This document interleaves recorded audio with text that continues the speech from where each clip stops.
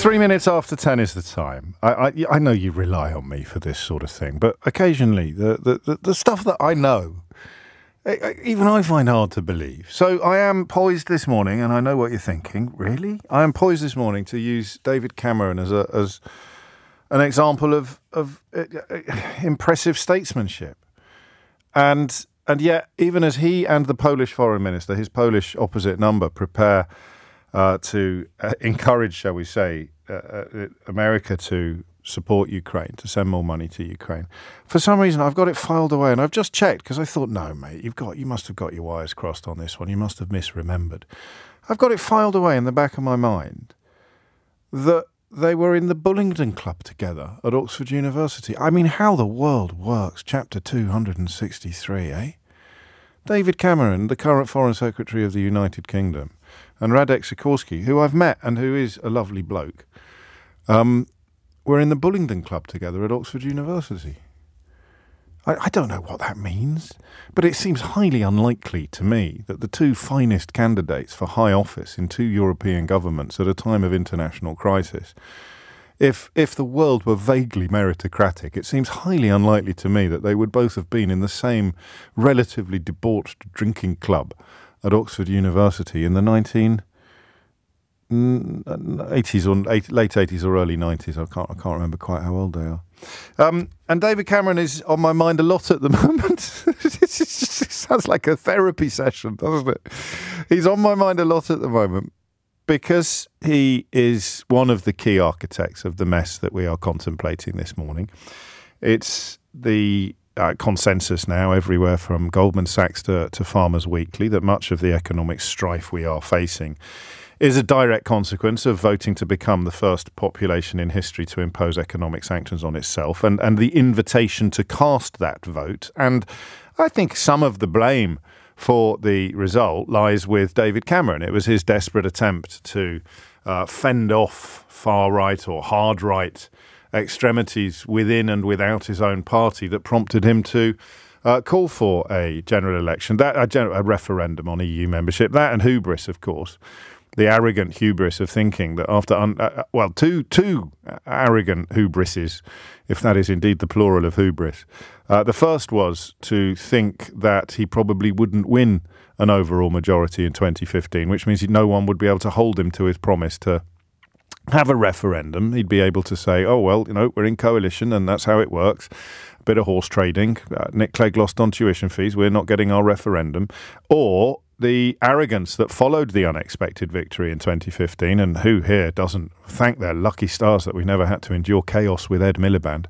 The, the arrogance that followed that unexpected victory that led him to believe he'd be able to win uh, uh, the referendum result without any help at all from the leader of the Labour Party against the massed ranks of almost the entirety of the oligarch owned British media, still undefined uh, um, uh, Russian interference, law breaking by the official designated uh, Leave organisation headed by Boris Johnson and Michael Gove. He couldn't even get two of his one of his old schoolmates and one of his closest friends on side. So how was he likely to persuade a country that was in danger of drowning in a sea of jingoism and lies? So James has taken the words out of my mouth. Text has come in. He says, "I know he's a plum that caused Brexit, but I rate him. Now I don't rate him. Uh, I, I, but I do think he's right on this occasion. So we'll we'll give him the benefit of a stopped clock, by the way. And when I talk about economic woes, don't, don't get cross or get upset about the truth. Get upset about the people who lied to you. Don't shoot the messenger. Um, if you're finally reflecting upon the idiocy of what you did in 2016, look at GDP per head. Right, that's actually more important than overall figures because this is about this is essentially about what per capita GDP is about the distribution of wealth. It's the most important measure for our living standards. Okay, so you take all the money in the in the country or in an economy and you divide it by all the people in an economy, and you find out roughly where you stand. So we are now. I, I mean, incredibly, given the way that Boris Johnson ran around claiming our growth is bigger than this and our what is bigger than that, and we got all the big calls right. Uh, our, our GDP per capita is now 1.1% lower than it was before COVID. So you are worse off than you were before COVID. If you lived in America, you would be 6% better off. And if you lived in a, a European Union country, on average, you'd be 2.7% uh, better off. So that is your that is your GDP per capita. That is your, your seasonally adjusted crucial measure of how well off you are in comparison to American and European countries on average. And David Cameron did it. Not only did he bring in the austerity that led many people to think they might as well vote for Brexit, despite not really knowing what it involved, because it couldn't possibly be worse than what we already had. But hey ho, newsflash, it is. Uh, not only did he bring in austerity, but he then introduced the referendum. And the, the marriage of referendum and austerity is a large part of the answer to the question of why we are where we are. The other large part, of course, is the influence of shadily funded think tanks and an absolutely insane right wing media. Probably best embodied by a bloke called Alistair Heath, who features a bit in my book, How They Broke Britain, but he, he's certainly not important enough to get a chapter because his influence only extends to the poor saps that still read the Daily Mail. Daily Telegraph, he edits the Sunday Telegraph and writes columns for the Daily. But he has, I, I mean, almost unbelievably, having been a huge supporter of Brexit and even more madly, a huge supporter of Liz Truss and Kwasi Kwarteng. This is the Herbert that wrote about how it was the finest budget he'd ever seen in his lifetime, shortly before £30 billion got sucked out of the marrow of the UK economy. He has written, For the first time in my life, I'm now beginning to think Britain is finished. I told you this would happen. I told you that the people responsible for leading us into these un- utterly unnecessary problems would soon start complaining about the utterly unnecessary problems without taking any responsibility for it whatsoever. I give it, start, start your stopwatch now before someone tries to blame the per capita GDP thing on immigration. Blame it all on foreigners. Whatever you do, don't blame it on the people who've been in power for 14 years. Blame it all on foreign. Blame it on that bus driver over there. Blame it all on. I mean, it is extraordinary how the themes that we've discussed together over the last few years are now coming together in glorious technicolor. But we're not going to talk about that today. In fact, you know what I'm doing. Yeah, I'm actually, and this is so unprofessional. It's, it's almost like if you were to write a guidebook of how not to present radio programs like this one, don't don't let yourself be distracted from the issue that you need to talk about because you don't really want to talk about it would be at the top of the list. I don't want to sit here and say, "Oh, good old Davy Cameron, good old Davy Pie." wow, what a blinder he's playing on the world stage. Because I, I literally, but you know how I feel about footballification. I am not only the inventor of the word, but I'm a sworn enemy of the idea.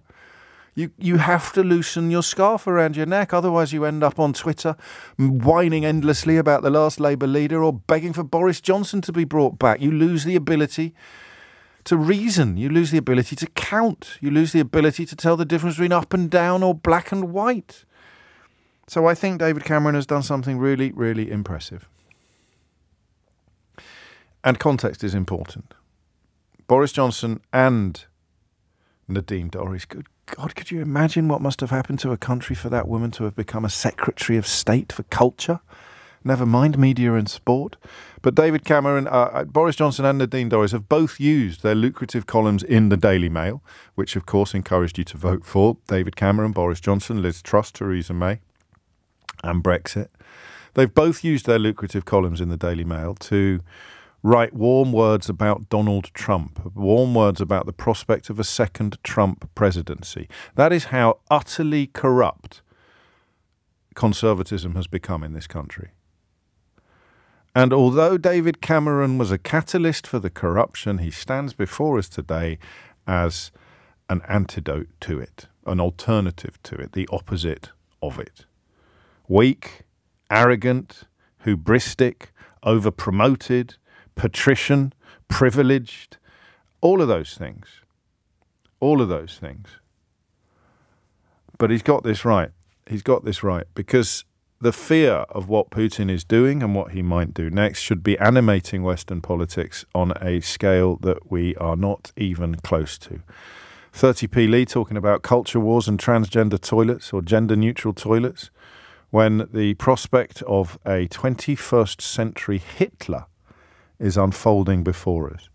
Here is ah, Lord Lord Cameron speaking this morning um, about the importance of funding Ukraine. Most important, what we discussed today is our partnership in supporting Ukraine. I see this as the challenge of our generation. Two foreign ministers standing here today, uh, it's like two foreign ministers standing here in the 1930s, where we faced a similar challenge from a similar aggressive dictator who was trying to change Europe's boundaries by force, who was ignoring the sovereignty and inviolability of other countries' borders. That's what we face today with Putin. And the challenge is do we have the political will to match it? It's perfectly obvious that we've got the military power. It's perfectly obvious we've got the economic power, that we have the diplomatic power, that collectively our economies outmatch Russia by 25 to 1. The question for us is whether we have the political will. I know that Poland does, I know that Britain does, and we'll do everything we can to persuade all our allies to commit to helping Ukraine in all the ways that we are doing. Do you know, there's probably a whole book to be written. Don't look at me. I'm done. There's probably a whole book to be written about the things that keep David Cameron awake at night, if, as seems possible, he is actually possessed of a conscience, something else that would put him in stark contrast to Boris Johnson. But I wonder whether the failure to respond properly to the invasion of uh, um, uh, Crimea in 2014 uh, when Putin took took much of the Donbass and took Crimea, or in 2008 when he invaded Georgia. I know that Cameron wasn't prime minister then, but he certainly was in 2014. In fact, he writes in The Hill, which is a sort of bible for politicos in Washington D.C. He writes, I do not want us to show the weakness displayed against Putin in 2008 when he invaded Georgia or the uncertainty of the response in 2014 when he took Crimea and much of the Donbass before coming back to cost us far more with his aggression. And that, it seems to me, is at the heart of, of this conversation. Is as Maya Angelou famously observed, when people show you who they are, believe them the first time. If Putin gets away with this, he moves on to that. As as with Adolf Hitler. God, did you hear my voice then? I, normally, there's a little bit of self censorship that kicks in when when, when there's any um, call upon comparisons. You know, I, it, it's such a heady brew to share. Uh, you can talk about the rhetoric or the language of the 1930s, as Gary Lineker correctly did when talking about Suella Braverman. But to talk about the politics of the 1930s is very different. To talk about the, I, you can see politics as the consequence of rhetoric, but to see uh, in 2024, as our own foreign secretary does, reflections of 1930s Germany when Hitler was on the march metaphorically and, and, and shortly physically.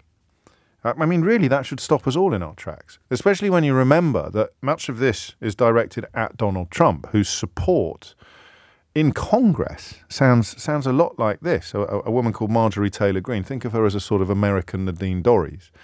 But this is what Cameron and Joe Biden, if if he is to prevail, and all sensible people who understand the threat that Putin poses to the world order. This is what they're up against. I think that um, I really don't care what David Cameron has to say. I think that's rude name calling, um, and I don't appreciate that type of language.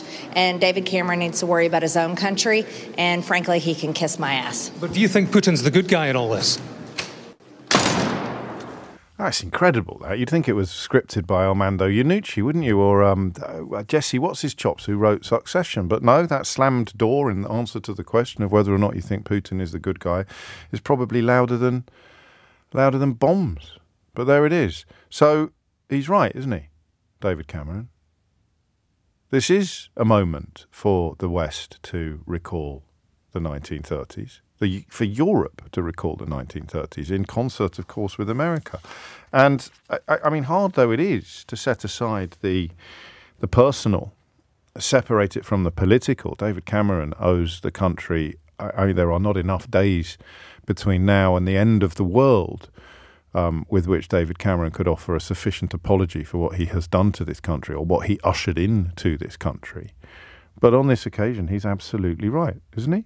0345 6060 973. The question couldn't be simpler. Is the Foreign Secretary right to compare Vladimir Putin to Adolf Hitler? You need a bit of history to answer this question, but not that much, because most of it is almost imprinted upon our collective consciousness, isn't it? So, is he right? Is is David Cameron right to compare Vladimir Putin to Adolf Hitler? 0345 6060 973. It is 22 minutes after 10, and it is, I mean, uh, you know, a truism, isn't it, that a stop clock is right twice a day. But when, when I've been on the road with a new book, one, one of the questions that I get asked at almost every event is how, how do we fix things? How do we turn things backwards in the way that they went? And, and the answer that I usually give involves Amber Rudd you know what I do, don't you, in my head whenever I say the word Amber live on the radio? I, have got a mental block on getting Amber Rudd mixed up with Amber Heard. And Amber Heard is definitely not someone I would point to as a signpost for a form of political rehabilitation for the nation. Uh, I, I, I, so it is definitely Amber Rudd, who resigned twice on points of principle. But David Cameron is part of the answer to that question as well. I, I abhor what he did to this country, from austerity right through to Brexit. Almost every single thing he did was disastrous and born of privilege, patrician arrogance, and uh, a, a, lack of genuine concern for, for detail and the country, in my view, right? But he didn't pretend that black was white. He didn't uh, insist that gravity didn't exist. He didn't claim that you could impose economic sanctions on yourself and somehow claim that you were better off. The breach in basic reality brought about by Brexit and the promotion of people like Nigel Farage and. Uh, and, and, and latterly, your sort of Gullises and your 30p Lees and people like Liz Truss realizing that professional advancement could be achieved by lying through your teeth. Kemi Badenoch currently doing that um, exact same play. Uh, more nonsensical announcements yesterday about things that are not trade deals being called trade deals. So that absolute breach with normality, that breach, that abandonment of reality, David Cameron was before that. So my disdain for David Cameron is quite old fashioned. It's to do with disapproving of his policies and his politics. And if I'm feeling a little bit lazy and unprofessional, possibly even his personality but it's not like the disdain I have for Boris Johnson, who lies and lies and lies again and gets cheered to the rafters by people like Alistair Heath in The Telegraph and Paul Dacre, the editor in chief of the Daily Mail, because he's on the promise of a peerage, even as he lies and lies and lies. And then he gets rewarded by GBBs in the Daily Mail as a consequence of having to run away from the House of Commons after being caught lying about lying about lying to the House of Commons. And so that that's it. I'm not here to start the David Cameron fan club, and possibly the presenter doth protest too much, but that's the point. He's a grown up, and you have to listen to him because Putin is like Hitler, isn't he? Oh three four five six oh six oh nine seven three. Ollie's in Manchester. What do you think, Ollie? Um, yeah, I mean, I, was, I just wanted to get the point across in terms of uh, the similarities between Putin and Hitler that have been voiced previously. I think it's quite important that people do see the similarities in terms of how you know how he's controlling his power. Um, Hitler, when he rose to power, he indoctrinated the people, um, censored obviously what was going online, not online, sorry, um, what was over the radio at the time, and obviously people were indoctrinated into the beliefs of what Hitler was was portraying, and obviously believed that. Um, in terms of what Putin was doing, the majority of the country is limited to the media that is presented by Russia. So obviously the local channels, the local radio, and obviously that is censored as well. So what they what they hear and see and listen is only the views of Putin of, of the current regime in Russia. So we, so we, we would believe... we would be baffled in 1930s by how the Germans could be, but certainly in the 1940s, by how the Germans could possibly be in favour of what is being done in their name, just as we would be baffled today by the levels of support that Vladimir Putin's imperialist agenda enjoys in Russia because it's presented to them in ways that would even make our media look honest. Yeah, I think if I think if the people in, in that part of the world had access to other media's, say our Western media, and just other pieces of information, they would then be able to see see what's wrong and what's right. Do you know what I mean? Mm. In terms of what you were saying previously as well, if you know the response in 2014, the uncertain response, I think I think you've hit the hit the nail on the head there because what's what people don't realize is if it's happened once, especially with a, a person like Putin, it'll happen again. And obviously the evidence is there: 28, 2008, 2014, today. And if he's not not stopped today, realistically, like you know, what's next? Do you know they teach they teach children in Finland um, fake news. They actually have classes in schools to teach them to recognize online propaganda and online fake news because they recognize the dangers that Russian inter- interference and attempts to foment instability in other countries, as they've done, of course, in the United Kingdom and America. When you've got a border with Russia, that can become even more dangerous. And and yet we sometimes sit here sort of thinking everybody's equal, and and uh, my next guest will balance out the position that's just been laid forward. I suppose the final question, Ollie, just, just becomes what it looks like. So you know, uh, uh, we we don't know at this point whether the House of Representatives will pass this. Trump is um, putting pressure on the Speaker to veto it because of a, a, battle on America's border with Mexico. It also includes support for Israel, which is a more nuanced question for obvious reasons than a funding package for Ukraine. But if it goes through, and if Cameron is right, then do we edge closer to the notion of, of, of actual military engagement, military support, as opposed to merely financial? I think to get this over the line to to end what's going on at the moment in, in Eastern Europe, my honest opinion is that that's the only option. Um, until then, it's just going to be bloodshed on both sides. And, and, you know, it is funny, isn't it, how many of our conversations about world matters and, and about, um, uh, you know, wars and matters of life and death sound ultimately as, as, as questions of when you know, when will people realize that Israel's mission in Gaza is abominable and unjustifiable? Answer this week in the case of a lot of Western politicians, but, you know, last year in the case of some observers and commentators. When will the, the West realize that it is going to have to go further to stop Putin in, in Ukraine, even if even if that involves, and I know about NATO and I know what um, uh, what, what the treaty entails, but uh, Putin plus Trump is terrifying for, for anybody paying attention, for anybody honest. And of course, um, uh, your average Trump supporter is, is neither paying attention nor honest, up to and including Boris Johnson and Nadine Dorries. Thank you, Ollie. Simon Ealing will be up next, which um, will be after the news, actually. Quite a lot of, from me in the first half of this hour. I shall try my hardest to rectify or at least address that in the second half. But some mornings I've just got a lot to get off my chest, and there's something really weird today about looking at the biggest domestic story, which is a recession, and the biggest international story, which is the British Foreign Secretary urging uh, America to back Ukraine and defy the likely Republican candidate in the next American election, and recognizing that Davy Cameron is at the heart of both stories. He set the ball rolling that has led us into recession and sundry other problems, and he is on precisely the right side of history today when it comes to urging America to defy Donald Trump, to urge Republicans to defy Donald Trump and, and back Ukraine. And rarely will you find a better example of the, a better illustration of the importance of resisting footballification. Because just because somebody has muffed up for the last nine times doesn't mean that on the tenth occasion they will definitely get it wrong as well. Whew. Half past ten is the time, and Thomas Watts is here now with your headlines. It is ten thirty-four. You are listening to James O'Brien on LBC. I've got a woke watch with a twist for you. Should we do that? I, I think we might do that now. A woke watch with a twist. Yeah, go on. Woke watch. Do you remember earlier this week? Grant Shapps wrote an article for the Daily Express about how the army was too woke.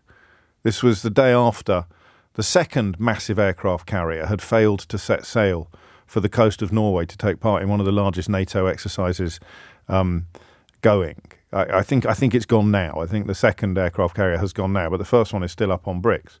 Do you remember that? That's what the actual Secretary of State for Defence. I know what you're thinking. Maybe Michael Green was dealing with the aircraft crisis, aircraft carrier crisis, while Grant Shapps was writing the article. Maybe Sebastian Fox was talking to the Navy while Grant Shapps was writing an article for the Daily Express. So it was it was among the stupidest things I've shared with you under the Woke Watch banner. And it sprang from some nonsense in the Daily Telegraph about the army being too woke because it was trying to encourage its members to be a, a bit more modern and open minded. Well, I, I mean, be fair to the Daily Telegraph, they carry a considerably more important story today from the Royal United Services Institute, which is a, a proper think tank, i.e., its funding is transparent and widely regarded as a, as a, as a sage and important voice on all matters military. They've just published a paper entitled Defending Our Defenders Preventing Far Right Extremism in UK Security Forces. Um, And what it does is call for more training for personnel that encourages questioning of stereotypes, biases, and extremist ideologies. That is what you would call unconscious bias training. Being called for by RUSI, by the Royal United Services Institute, because uh, far right extremism is rising in the ranks of both the army and the police. Extraordinary, really, to reflect upon the fact that the Secretary of State for Defence thinks it's a convenient and constructive use of his time to rail against things like diversity training and unconscious bias training, while the Royal United Services Institute is stressing that without it, the far right cancer, the toxicity of far right extremism, might tighten its hold on the British Army. Oh, and guess what women in the armed forces came out to say about Grant Shapps' attack upon wokeness in the military? They came out to say that they'd been made to feel unsafe by him. I know we shouldn't be talking about these trivialities. We should be talking about gender neutral toilets and 30p Lee feeding beans to Brendan Clarke hyphen. But the Secretary of State for Defence has made women in the armed forces feel unsafe by warning about a woke culture infiltrating the army because it highlights and encourages precisely the sort of toxic masculinity that the Royal United Services Institute today warns against. That that's Grant Shapps for you. That's a that's a conservative politician, not a candidate in Rochdale. That's the Secretary of State for Defence making female members of the military feel less safe today than they did before he opened his stupid mouth. And you tell me what's newsworthy and what isn't. I told you it was a slightly different woke watch today. Woke Watch. Staying, I suppose, with matters military, has David Cameron got it right? When he compares Vladimir Putin to Adolf Hitler. Um, and inevitably, Nigel Farage is currently agitating for Vladimir Putin, calling for negotiations rather than continued militarism. Speaking of people that you should probably be waking up to the reality of by now, Nigel Farage, the, the most unpleasant skid mark on the underpants of British politics, now complaining regularly about the state of the underpants. Incredible, really, but hey ho! I'm sure the Daily Telegraph and the Times and the and the Mail will be giving him another another pat on the head tomorrow. Joe's in Cambridge. Joe, what would you like to say? Hello, James. Hello, Thank, Joe. thank Sorry, I. I, that's not fair, really, is it? Uh, are, you- are you ringing in to a perfectly measured and informed radio phone, and, and now you come on after an unhinged rant from this self-obsessed presenter? I do apologise. What would you like to say? Don't don't apologise. I'm a bit unhinged as well. Ah, there we I- go. I- some some reflections, James. Um, my father and my father-in-law uh, were both Polish. They're they're not with us now, but they were both Polish. Right. And in ni- 1938, uh, Poland were well aware what was going to happen. They were both um, in the military in their training. They both had got civilian careers as well. Um, August 38, oh, oh, sorry, August 39, my father was called to the border in Tar- Tarnow. I won't say it right. My, uh, my Sure. knowledge of Polish is not as good as it should be. He was there when better than mine. when the when when the false uh, the false flag came, Yeah. and my my father-in-law was in another part of Poland where the Soviet Union were, were waiting to come in. My father fought in the 1939 September campaign against the Germans, and he actually fought.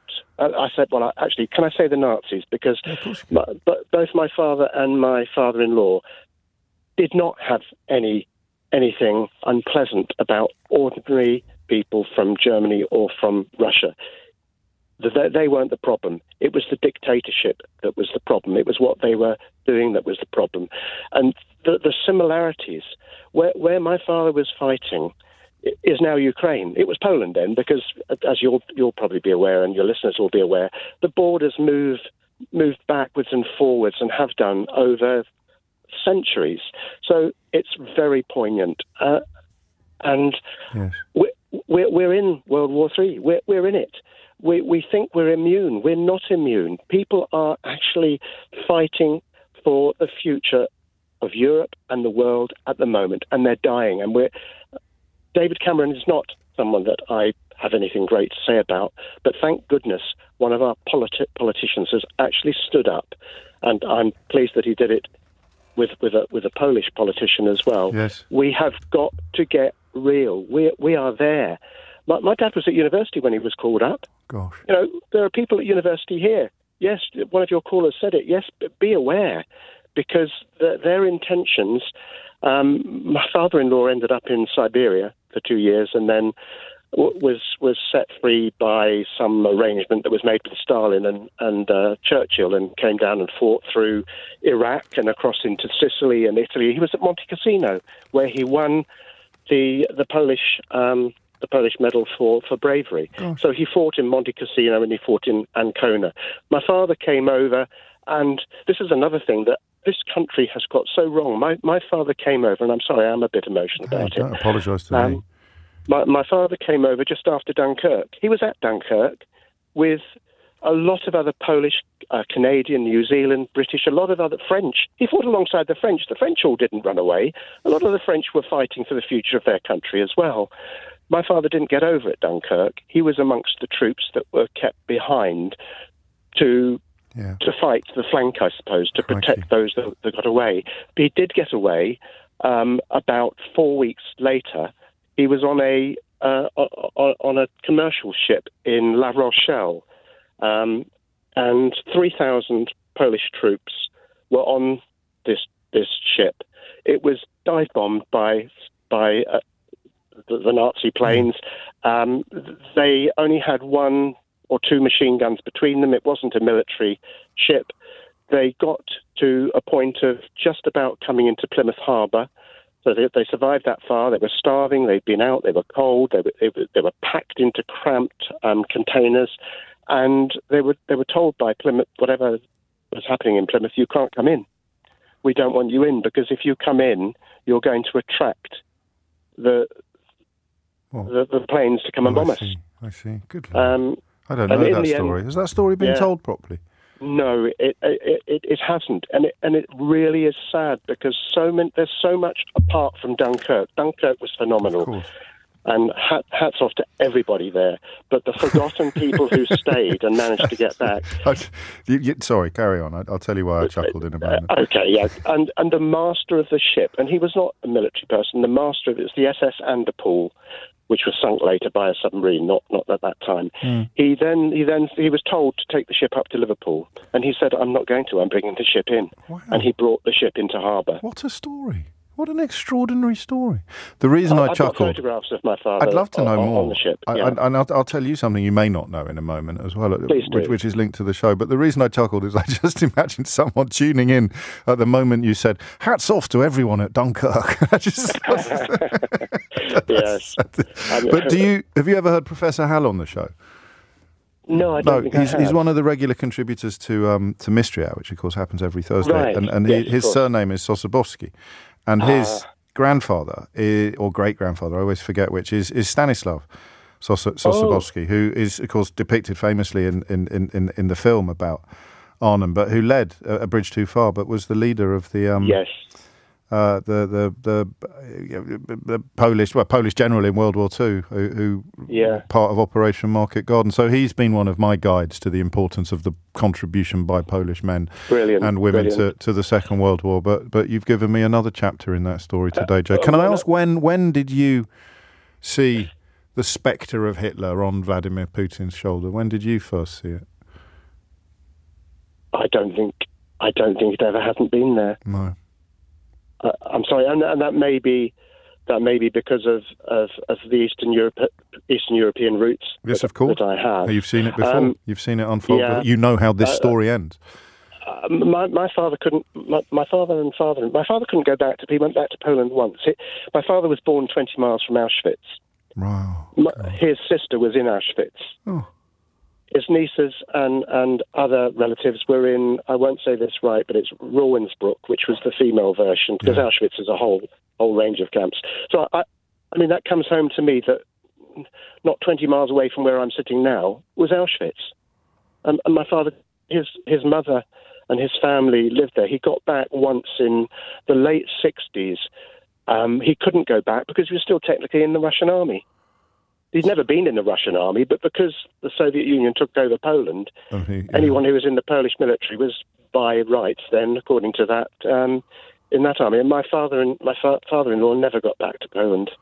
He was too afraid to go back, so he never got back to see his his family, his mother. What, you do you honour their memory, Joe, if you let me say that. You really do. You honour both of their memories. Absolutely breathtaking detail and, and, and, and important context for the question of why David Cameron, with, as you stressed at the beginning, his Polish counterpart, Radek Sikorski, the Polish foreign minister, really issuing a warning to the world about what is unfolding before our very eyes, albeit that in the micro, it is directed very much at American Republican politicians, particularly in the Congress, who are being urged to defy Donald Trump and um, and, uh, and and and pass this big aid package for Ukraine. And you know, we joke a lot about what happens when truly ridiculous people achieve positions of prominence in politics. We usually use Jacob Rees-Mogg or Nadine Dorries as examples. Make no mistake, this woman here is the American equivalent of, of 30p Lee, of Jacob Rees-Mogg, of Nadine Dorries. When you put people who do not understand anything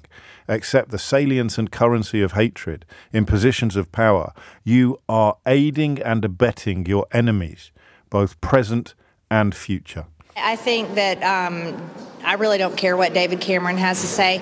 I think that's rude name calling, um, and I don't appreciate that type of language. And David Cameron needs to worry about his own country, and frankly, he can kiss my ass. But do you think Putin's the good guy in all this?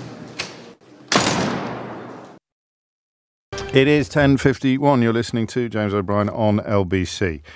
Um, you could be forgiven for having missed this story, but the Salisbury Conservative Association has said that it received a formal complaint about offensive and inappropriate comments by Salisbury Mayor Atiqul Hoque on social media and WhatsApp. He is uh, a Conservative councillor and is set to be expelled from the party. He's been mayor of Salisbury since 2023, so stand by for at least three Daily Mail front pages about that and the anti Semitism crisis that Rishi Sunak has on his hands. That will no doubt be um, arriving at platform two any minute now. And and the reason you have to point out these double standards is because if you are a true enemy of anti-Semitism, you do not use it as a, a, an opportunistic weapon with which to attack your political foes. It doesn't matter to me whether it is a Conservative mayor or a Labour candidate who is being anti Semitic. If you do not treat the offences equally, you are complicit in the offence. So I don't know if you're familiar with a, a pretty toxic website called Guido Fawkes, which yesterday tweeted on its Twitter account a, a, a profoundly and obnoxiously racist comment about Jews and Muslims. It was subsequently deleted, but that, that website is routinely uh, consulted and given stories by supposedly respectable journalists and by conservative MPs. And yet, that tweet that was issued yesterday from that website, which sort of uh, specializes in, in, in propaganda and toxicity was much worse than some of the comments that have been made by people in the public eye who have been compelled to step down. But you won't you won't be hearing about that or reading about that. It's uh, it's so important to have um, a clear eye on on what matters. The offence is what matters, not the political affiliations of the person executing or committing the offence. So wait and see whether or not an actual mayor being kicked out of the Conservative Party over anti Semitic remarks, the BBC is reporting, gets anything like as much coverage elsewhere as a candidate being disowned before he'd even got to the ballot box. 10.53 is the time. Simon is in Ealing to steer us back to the echoes of the 1930s. Can you hear them, Simon? Uh, yeah, yeah, you can. Uh, I just want to say hello, nice to meet, you, nice to talk to you, and uh, amazing stories from the previous call. Wasn't it special? Really special. Yeah, really, just to just to hear these stories of Poles fighting as a Pole myself. Mm. But uh, but going back to the question, I mean, yeah, Putin is a second Hitler. He's fueled by Russian imperialism and Soviet revisionism he only cares that it's his only like goal in the world is to rebuild the Russian Empire. It, it, I, I often wonder about whether or not that is merely a vessel into which totalitarian ambitions and, and indeed self-preservation can be poured, or whether or not because uh, much of his followers are animated by that kind of imperialistic nostalgia. But is yeah, yeah. will Putin be, be be genuinely, sincerely motivated by that, or is he just a kleptocrat? Is are these just the best ways for him to enrich himself and keep his grip on power? We'll never know, I suppose, will we? I mean, uh, I'd, I'd say that it, it is. You know, he is fueled by those ideas. He wants, you know, he is an imperialist. Yes. Um, he, for example, I'm going to give the example. He has shown himself to be very much against Lenin. He despises Lenin because Lenin destroyed the Russian Empire, understanding the power it had. But then he loved somebody like Stalin, who rebuilt the the Russian Empire, even though it was with a Soviet twist to it. Mm. He did rebuild that imperialist image of Russia.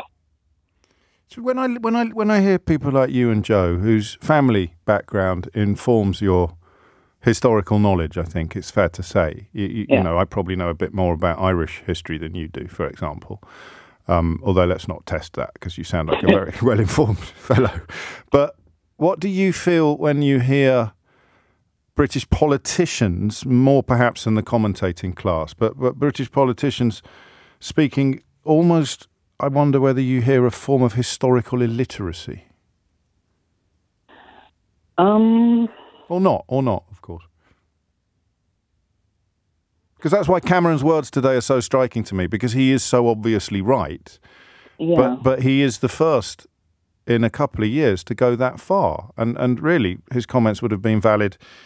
Well, I mean, lest anyone think we've been too kind to David Cameron, his comments would have been valid in 2014 when he essentially sat on his hands during the invasion of Crimea and much of the yeah, Donbass. absolutely. Or even before that Well, with yes, uh, Georgia in 2008. or Chechnya. Yes. So I don't know. Do, do, you feel yeah. that histor- Do you feel politicians would benefit from some history lessons?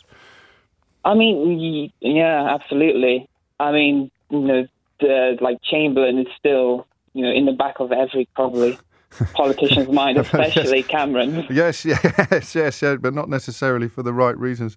Thank you, Simon. Um, and, and Joe, if you are still listening, an awful lot of love and gratitude coming in for um, the, the, story of your family. And I hope you don't think anyone's making light of it when several of my correspondents suggest it would make a bloody good film, uh, wouldn't it? Just as Professor Howe's uh, forebears uh, story uh, about the, the attack on Arn- Arnhem was turned into a, a bridge too far. Sometimes you need the power of narrative and drama to really drive home the power of a story. And I'll give you a brilliant example of that that won't necessarily be springing into your mind while we're talking about the Second World War and the possibility of Vladimir Putin being a latter day Hitler. The post office. Mr. Bates versus the post office. It's not a coincidence that that only really ignited among the British public when it was turned into a story, when it was turned into a drama about humans. So sometimes that's that's what you need. I, th- I felt Joe did that in telling his story about his father and his father-in-law in a way that uh, a a history book rather than a story wouldn't be able to do. Carl is in Leeds. Carl, what would you like to say? Good morning. Hello, mate. Yeah, I mean, yes, uh, David Cameron is mostly right, although I would say that Hitler was far more of a true believer in what he actually said and felt, and that you could just see the military decisions he made. He made a ton that clearly show a total disdain for those not of the Aryan race. There was no other explanation for it. Yeah. An awful lot of what he did showed clearly his zealotry. Although I, in this case, I think David Cameron's a cretin of the highest order as a general rule, but in this case, he has got it spot on. I think. Uh, I, I, I should say, I, I usually get texts complaining if someone uses the word cretin because I think its original use referred to a to a medical condition. I appreciate that you had no intention whatsoever of of implying that, and I probably shouldn't pay too much attention to the kind of people who text things like that. But I, I just acknowledge it for the for the record. It, it, it's no no criticism of you. I stand corrected. Thank you. Yeah. How, how about this? I mean, I mean, I don't know what word we'd use. Someone's just pointed out to me that it's not inconceivable that Liz Truss could still have been Foreign Secretary or Dominic Raab, let alone James Cleverly, who Shiv describes as currently playing Widow Twankey in the Home Office pantomime. It is quite quite a cast, isn't it? It's difficult, but at the same and same time, wherever it were, they have an uphill battle because our greatest ally have also done such an awful job of making the case for sending aid to Ukraine, and they've heavily politicized it in their own right. For instance, they talk about how many billions they're sending Ukraine. That's not what they're actually spending on Ukraine. That's how much it's costing them to replace the 20 year old hardware they're sending with shiny new stuff. Hmm. So they punt the numbers, make it sound better. I- it's I still mean, not getting those numbers. It's still not getting those numbers over the line. So, No, and, I mean- and, and, you know, going into the weeds a bit, the fundamental challenge facing Joe Biden and now David Cameron and Radek Sikorski is, is to persuade Congress to pass this bill, isn't it? Or at least to persuade the Speaker not to veto it. regrettably, if you jump back to the 1930s, you can find plenty of people who quite supported Adolf Hitler and Oh, loved him. America Some- First, I think they called themselves, didn't they? Well, that's. I mean, it's and perhaps Ironically enough. the extra, all the extra, all our wonderful access to information now has meant is that people can find stuff they agree with, and that confirms their own. Yeah, well, and, and that is part of what um, Cameron is up against. Although, in the case of some of the Congress members of Congress that we've heard from, particularly Marjorie Taylor Greene, um, it's not a case of having believed propaganda. It is it, it, it, sensible, rational people trying to analyse insensible, irrational people. It's almost a spectator sport. Uh, these that you can't, you can't, you can stare at someone like Marjorie Taylor Greene or Nadine Dorries for the rest of your life, and it will never make sense. It will never make sense because they, they are not sensible. They are in, insensible. But of course, they are powerful in some cases and very, very angry and, and uh, full of bitterness and hate, which they manage to direct at others when really, for every finger you point at someone else, there are generally three fingers pointing back at you. Four minutes after 10 is the time. Funny, really, and, and hopefully not a, a, a signpost for the future. But David Cameron is at the heart of both of the stories that I would like to talk about today.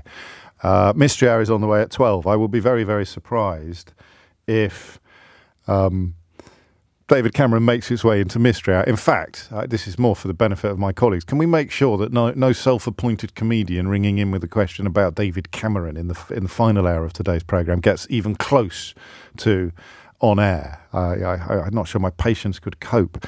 But the news about the British economy it's always a little bit complicated because in in, in technical terms, technical terms, in real terms one quarter with a 2% drop in GDP would be much worse than two quarters with a 0.1% drop. But the technical definition of recession is two is two quarters where there's no growth or two quarters where there is uh, a decline. So, so some of the language can be unhelpful. And not for the first time, it's to ITV News that we must turn for some of the most important analysis. On, on this occasion, their business and economics editor, Joel Hills, who has crunched the numbers that matter most to you and me. And those numbers are about GDP per head or GDP per capita, if you have, as Peter Cook might have said, got the Latin. Uh, and that's now 1.1% lower than it was before COVID. That You know, sometimes when I tell you you won't read this in many other places or you won't see this everywhere. Obviously, if it's on ITV News, it's pretty blooming mainstream. If, if Joel Hills is putting these numbers, crunching these numbers, it is pretty mainstream. You might also see it on Newsnight. What I mean is that if, if your diet of news is in any way formed by newspapers and or people in broadcasting who just lift their opinions wholesale from the pages of the Daily Mail or, or, or, or, or Rupert Murdoch's output, you won't be seeing this any more than you're seeing the truth about Brexit. In fact, the only way in which you'll see the truth about GDP per capita in client journalism will be in a cack-handed attempt to blame it all on immigration. Just mark my words, all right? So the numbers that matter most are the per capita numbers, and, and that's a simple division of GDP by the number of people in the country. And it's lower today than it was at the end of 2017, only by 14 pounds, but it's also lower by 1.1% than it was before we went into COVID. Now, compare that to other countries. Compare it, to example, to America. America's GDP per head, uh, as in the, the, the theoretical amount of money in every citizen's pocket annually. In America, it's 6% higher than it was before COVID. Across the EU, the average is 2.7% higher. Now, I know your Uncle Keith's Facebook is full of protesting farmers in France and and Germany's gone into recession and uh, but you know your Uncle Keith doesn't understand anything. That's become clear since since long before the referendum. He just repeats ludicrous lines that he's lifted from Facebook or, or, or from newspaper headlines that someone has uh, Snapchat, not Snapchatted, probably be more like tweeted or something like that. So these are real numbers about real people in the real world. GDP per capita is 1.1% lower than it was before COVID in the UK. In America, it's 6% higher, and in the EU, it is 2.7% higher. And the country is in recession. Um, albeit that the word is, on this occasion, more impactful than the numbers. It is nevertheless true that the country is in recession. And I turn you next to Goldman Sachs, who are rarely accused of being leftist or, or, or, liberal or even woke. Goldman Sachs, of course, is where a young trader called, shortly to make a ton of money from the global financial crisis, a young trader called Rishi Sunak cut his pref- professional profiteering teeth. Rishi Sunak often cited as someone who must know what he's talking about on matters economic because he worked for Goldman Sachs. Goldman Sachs reported yesterday on the state of the British economy, this before it became official that we have, um, with room for later adjustments, retrospective adjustments. The numbers are small enough to, to make that pertinent margins of error. But Goldman Sachs reported before we went into recession that the British economy was 5% smaller than it would have been if the country had chosen to stay in the European Union. That is those terrible Marxist lefties at Goldman I won't swear, Sachs. So obviously, it's hit trade, it's hit business investment because why would you invest in a country that has imposed economic sanctions on itself on anything like the level that you would do if it hadn't? And the steep increase in non EU migrants coming to Britain who are more likely to be studying than working. So there it is. That is the land that David Cameron built. That is Boris Johnson's Brexit Britain. And speaking of Boris Johnson, I wonder whether you remember what he said about Brexit and recession, and whether it's worth reminding you on the day that Britain goes into recession, the day after Goldman Sachs described a 5% blow to the UK economy as a direct consequence of Brexit. Boris, I think you just uh, lately show your true political color. Yeah, go on. By choosing to bre- uh, choosing Brexit. Uh, now, a lot of people don't trust you because of that. Now, I have a, I will give you a chance now in Come front on. of the audience. If we Brexit Yes. and we go into recession, would you have uh, political courage and dignity go on TV and in Japanese style politicians say harakiri. sorry no no no no harakiri sorry I made it wrong and I apologize to Bow and British apologise. Yeah, well, of course, uh, Zelko. Of course, if if do that to- of course if if there's of course I will. Go on then. He's got his own show, hasn't he, on GB News now? They, I mean, most of them have. He must be on the, in the pipeline if it hasn't already been broadcast. Uh, Well, go, there you go. Let's just let's, let's make sure we didn't mishear that, shall we? So, so, because we are in recession. If you if you if you follow Goldman Sachs on these kind of matters, it's a consequence of Brexit. And here's Boris Johnson. Boris I think you just uh, lately show your true political color Yeah, go uh, on. by choosing to bre- uh, choosing Brexit. Uh, now, a lot of people don't trust you because of that. Now, I have a, I will give you a chance now in Come front on. of the audience. If we Brexit Yes. and we go into recession, would you have uh, political courage and dignity go on TV and in Japanese style politicians say Commit harakiri. sorry no no no no harakiri sorry I made it wrong and I apologize to Bow and British people apologise. for- Yeah, well, of course, Zelko. Of course, if if of course if if there's of course I will. Um, I don't know I, I, who was sniggering there, but you could hear a snigger, couldn't you? In the in the, in this show. Oh yeah, it's really funny. Yeah, really funny. That June, I think, 2016. Um, I don't know how my memory works sometimes, but there it is.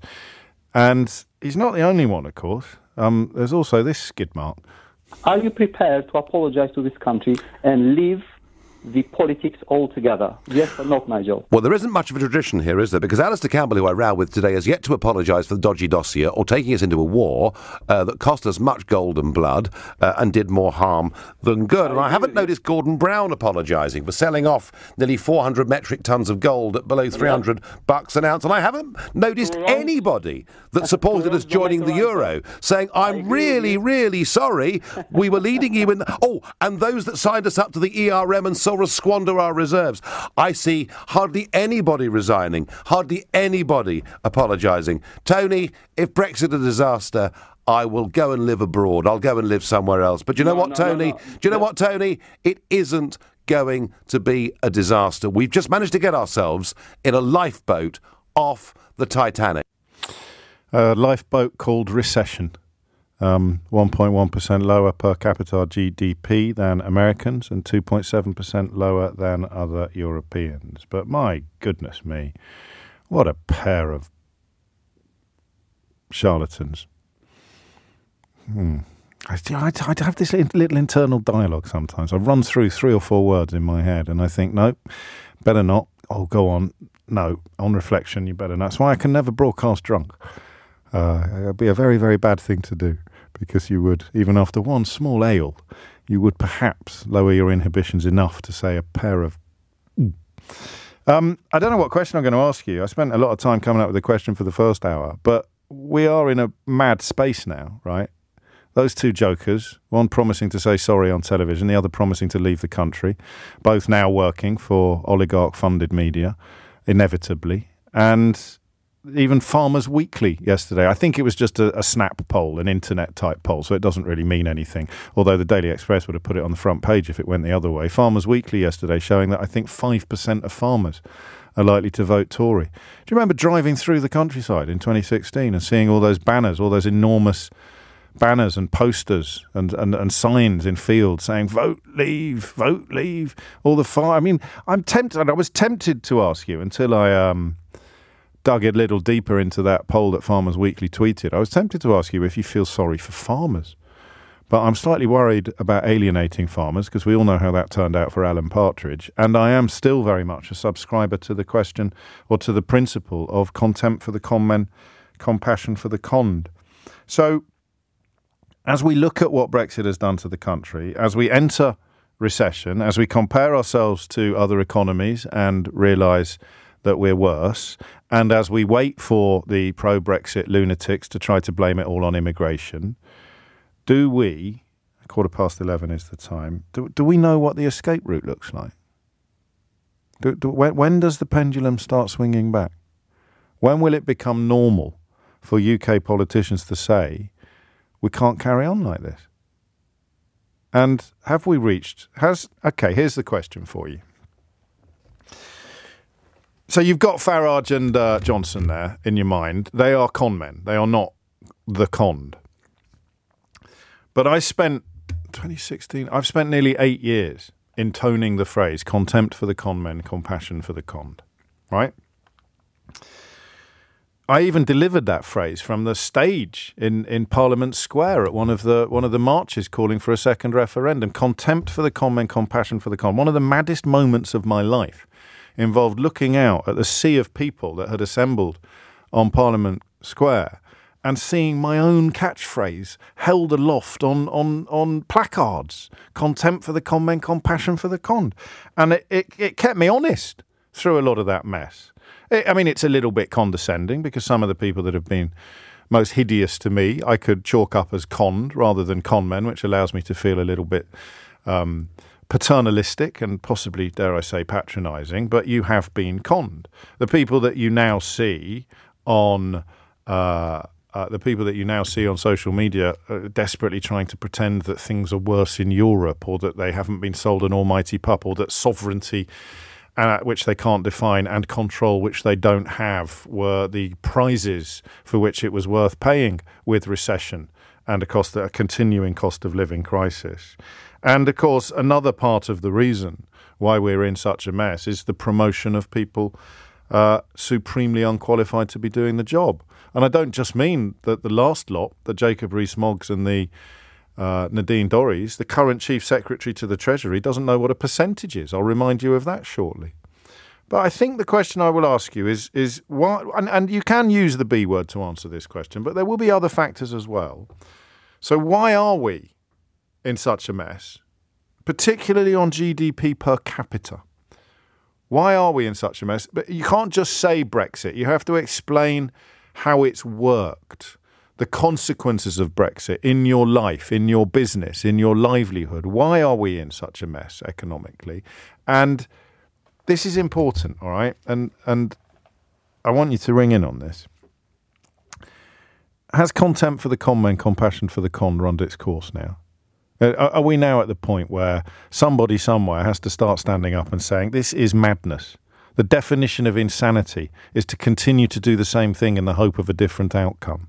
Ha- ha- have you reached? I, I, I am in a way asking whether you feel sorry for farmers. Oh, and I, I'm ready for the dead cow to be delivered to the studio by close of play today. Oh three four five six oh six oh nine seven three. Do you still feel sorry for people who were conned by the likes of Johnson and Farage, or has that sympathy expired and now it is just time to lampoon them and criticise them and condemn them for the nation damaging loons that so many people believe them to be. Hit the numbers now, you will get through. Why why are we in such a mess? And 0345 6060 973. What, what do you do with the Brexiter in your life? That's the question I want you to ask. How, how do you keep this conversation alive when the people that have brought us to our knees are so desperate for us to stop talking about it? 22 minutes after 11. I, I'm a little reluctant to open Idiot's Corner because I'd much rather these people still rang me. In, in, in many ways, I owe much of my uh, uh, much of my career in the last few years to the kind of people that used to ring me telling me Brexit was going to be brilliant. But I'll read this from Chris because it gives you an idea of what desperation looks like. Uh, you will never let up on Brexit. No, that's patriotism, mate. If someone set fire to your house, you pursue them to the ends of the earth and order them to either rebuild it or get the hell out of Dodge while grown ups get on with the business of fixing the mess that they've made. That's patriotism. So you're damn right I'll never let up on Brexit. Europe is not all roses. So what? What's that got to do with the price of tea in China? Absolutely nothing. Um, more countries want to leave. That's a lie. Uh, but of course, you have been lying to yourself since 2016, so it's no surprise that you would be lying to my listeners today. And illegal immigration would still be the same. France did nothing before and is still being paid to wave the boats bye bye, the boats bye bye as they head off to the UK. That's also a lie, uh, and neatly overlooking the possible deployment of the Dublin Convention, which you are probably too stupid to know about, but are welcome to look up. Uh, look also at inflation in the USA. Dave, what's the USA got to do with Brexit, champ? Except as a, a, comparison of GDP per capita and the question of why it is that the UK is in recession and the US is not. They've not pushed interest rates, but prices have gone nuts. We're still held to ransom. You, mate, you really need to Google inflation in the USA. We're held to ransom by EU based energy companies. If you're being held to ransom by somebody who's in a team that you used to be in, then you're a bloody idiot for leaving it, aren't you, you chump? Um, and where else are we? Railways and others that profit from us and expect our taxes to fund their upkeep. Yeah, because damn that Labour Party for selling off our national infrastructure to foreign governments while insisting that domestic governments shouldn't be allowed to own it. And Chris concludes with Wake Up, and this is actually poetry. And I hope you're shouting this, Chris, at the moon as you make your way into Idiot's Corner this morning. Wake up, you only see what you want to see. so that's what it looks like. Uh, is it unfair? Is it unfair to suggest that the only people still clinging to the carcass of Brexit are either those whose careers were built on it, like Boris Johnson and uh, and his ilk, or who can't climb down because their careers would be over if they did, like most of Fleet Street and many people who do what I do for a living, or people like Chris who would struggle to lace their own shoes. Is, is there anybody left once you've filled up those three categories? Self interest, self preservation, and weapons grade stupidity. 0345 6060973. Toby's in Bristol. Toby, I haven't really asked a question this hour, have I? It's a bit, bit of an unprofessional business. I've just offered up the ingredients and invited you to make a blancmange. So off you go. Um, go back to the 2008 financial, financial crash. People like Sunak working in the banking industry, they all gradually move over um, and up the greasy pole of politics to become junior ministers and secretaries of state and, and prime ministers. And the libertarian um, you know, uh, project about skinning our country using austerity leads you directly to Brexit because it's what they wanted. They want to be rich. They want to be in control. They don't like this, the, the support the state gives the, the general public. I, so they you, destroyed it. Uh, yeah, I, the only I, I agree with all of that.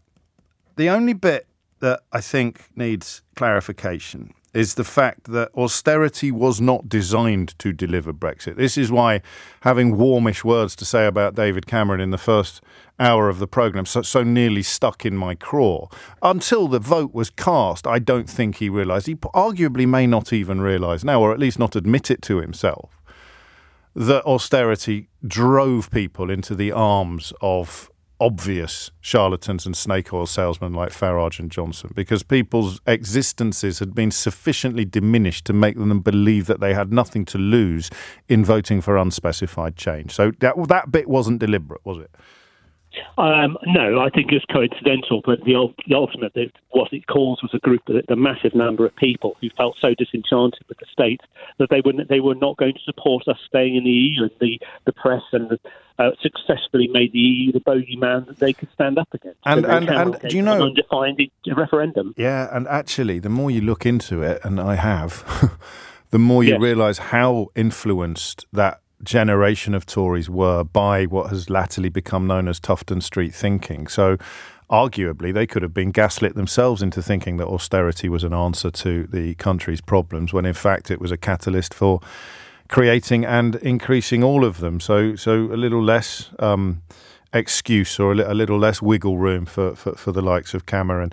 And, finally, I, I, I mean, this bit here. Actually, no. I'll squeeze in another caller, Toe, because there's a lot of people waiting. Jer- Jerry's in Copenhagen. Jerry, what made you pick up the phone? Hello, James. Um, yeah, a little short story. I live in Denmark, and um, about a year ago, I wanted a well-known antiseptic cream that I can't buy in Denmark. Savlon. used to buy. No, can I name it? Germolene. Okay, yeah, just checking. Carry on. Germany. Yeah, okay, yeah. And um, so I ordered some from a website which was actually in Belfast, Yeah. and it was about three tubes, about one pound forty a tube, plus a couple of quid for packing. I thought that's fine. So then I get a letter from the customs in Denmark. I've got to pay the Danish equivalent of about seventeen pounds hmm. before they deliver it to me. So I just thought, well, which I did. But then I thought, well, I won't do that again. No. And then that online And UK I- store, although by dint of being in Belfast, it might actually, I don't fully across the Windsor framework, but it might have got, if it was in Birmingham, they certainly wouldn't have, n- nothing would have changed. But you wonder why that business is now doing less well than it was before Brexit. And there's your answer, because you're not going to order any more from them. Well, neither is anyone else in Europe. Well, I of, mean, of course you're not. I this is It's so just- this is so obvious, isn't it? And yet you still have people like Rees-Mogg and Johnson and, and, and their cheerleaders in the in the right wing media claiming that things have gone well. Yeah, and I never actually understood what that business about Northern Ireland was going to be different to the rest. I never really understood what that meant. Would that mean that if I did it today, I wouldn't have to pay? I, I, don't, I think. I think. It, I mean, listen. I'm good, but I'm not perfect. I think it might. I, I think. I think that the that, that there shouldn't be any difference for you in dealing with a company in Belfast than there is with a company in Dublin. So and I think in that England should export everything they've got to Belfast. Well, I think you they may can you, sell it to Europe. I mean, there may be loopholes that can be uh, uh, used, but certainly all the business people we spoke to immediately after 2016 and certainly after 2019, 2020 were either selling up or opening depots in continental Europe so that they could serve customers like you from within the customs union and or the single market rather than having to serve it from without and incur a 17 pound duty charge for their customers when their Germolene arrived in wonderful wonderful Copenhagen. Uh, it's half past 11 and and why are we in recession? Uh, 03456060973. And I'm going to get this question right one day, but I, I've got a feeling that it's not going to be today. But the question speaks to this issue. How do we deal with Brexiters now? That, that to me is a fascinating and generational inquiry. First of all, there aren't many left. Second of all, some of them insist that Brexit was still a good idea, but it went to a different school. I don't think you can ever deal with them because they're lost. You know, you, they might as well be arguing that the earth is flat or the moon is made of cheese.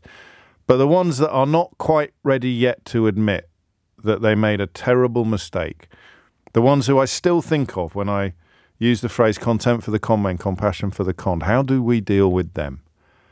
0345 6060973 is the number you need. It's 11.31 and Thomas Watts, how's your headline? 11.35 is the time. You can't deal with Brexiters while leading politicians refuse to talk about it, says Alan, adding i.e. or e.g. Keir Starmer. I, I, I don't know. I, I, I, I, mean, for me, the problem is that the liars are still in charge, and Starmer was never a liar on this. Uh, you know, he was absolutely clear about how stupid it would be, uh, as were oddly people like Theresa May and even Liz Truss. Would you believe? And Starmer clearly hasn't changed his tune, but they're still lying. Keith in Poland, I think, is closer to where I am. He writes As long as Kemi Badenoch keeps spinning the idea that memorandums of understanding with American states are, quotes, trade deals, end quotes, then people will still cling to the idea that Brexit is a good idea. New York is supposed to be the latest deal in the making. Um, and thank you to, as a tribute to the late Steve Wright. Thank you for the kind words about the show, Keith, in Poland. Um, and you're absolutely right. There was another bunch of them uh, yesterday came out of Kemi Badenoch's department. They, they, these things, so that you understand, they are utterly meaningless. And yet the Secretary of State for Business is passing them off as trade deals, briefing journalists that they are trade deals. They are not trade deals. Only Congress can negotiate trade deals. These memorandums of understanding sort of say, oh, if Congress ever negotiates a trade deal, we should definitely have a chat. That's the memorandum of understanding. New York being the latest. There is literally nobody in the state legislature in New York who is empowered to make a trade deal with a foreign country. And and yet the lessons of Liz Truss appear to have been learned by nobody. The last one was uh, Florida. Did you see this? This is important. This is why you have to keep talking about it because they're still lying. I read in one newspaper that Kemi Badenoch had signed a trade deal with Florida worth up to $3 trillion. So I thought I'll have a look at that. Sounds good. Maybe there is a Brexit benefit after all. And do you know what it was? It was a memorandum of understanding with Ron DeSantis, the governor of Florida, which delivered precisely zero cents to British business. It, it, it eased or created precisely zero imports or exports. Nothing. Nada. Diddly squat. Zip I nearly said sayonara, but that would be the wrong word to use when I'm clumsily trying to run through lots of different ways of saying nothing. Niche, nil, zero, and zilch. And yet it was written up in the British media as a trade deal worth up to $3 trillion. Do you know where they got the figure of $3 trillion from? Even I couldn't believe this. They got the figure of $3 trillion from the entire economy of Florida. So when this was written up by a sympathetic journalist, the impression given to their readers was that Kemi Badenoch had signed a deal with Florida that could be worth $3 trillion, whereas in fact she'd signed nothing that was worth nothing. But they still get written up as trade deals or mini trade deals. The mind boggles. And as long as bilge like that is being pumped out by the Department of Business, then we have to keep telling the truth. When the liars are in retreat or when they start telling the truth, we can shut up. But I'm not going to lie to you. I, I, I, there are days when I don't know how to do it. There is a picture. Sorry to go on, but this is important. I'll be with you imminently, Peter and then Alan. There is a picture posted on the 7th of February of this year by Rishi Sunak. It's a video, it's a still from a video in which he sets out the context we found ourselves in, his words, economically, after becoming Prime Minister in 2022. So, in a sense, it's a list of things that Rishi Sunak holds responsible for our economic situation, right? This is, you know how much I love those moments of distillation. Those moments where stories converge, planets align to prove beyond the shadow of doubt that we are in the upside down, that we are being taken for complete mugs by the people in power. This could be one of the best ever. So, on the 7th of February of this year, so uh, merely a week ago, a week and a day ago, a week and a day before it was announced that we'd gone into recession, the former Chancellor and current Prime Minister drew a little chart on a on a flip chart of the reasons why we were in the economic situation we were in when he became prime minister in 2022. Would you like to know, boys and girls, what was on that list? A week and a day ago. In one, NHS, vaccine, and furlough. Three contributors to our economic context in 2022 when Rishi Sunak became Prime Minister.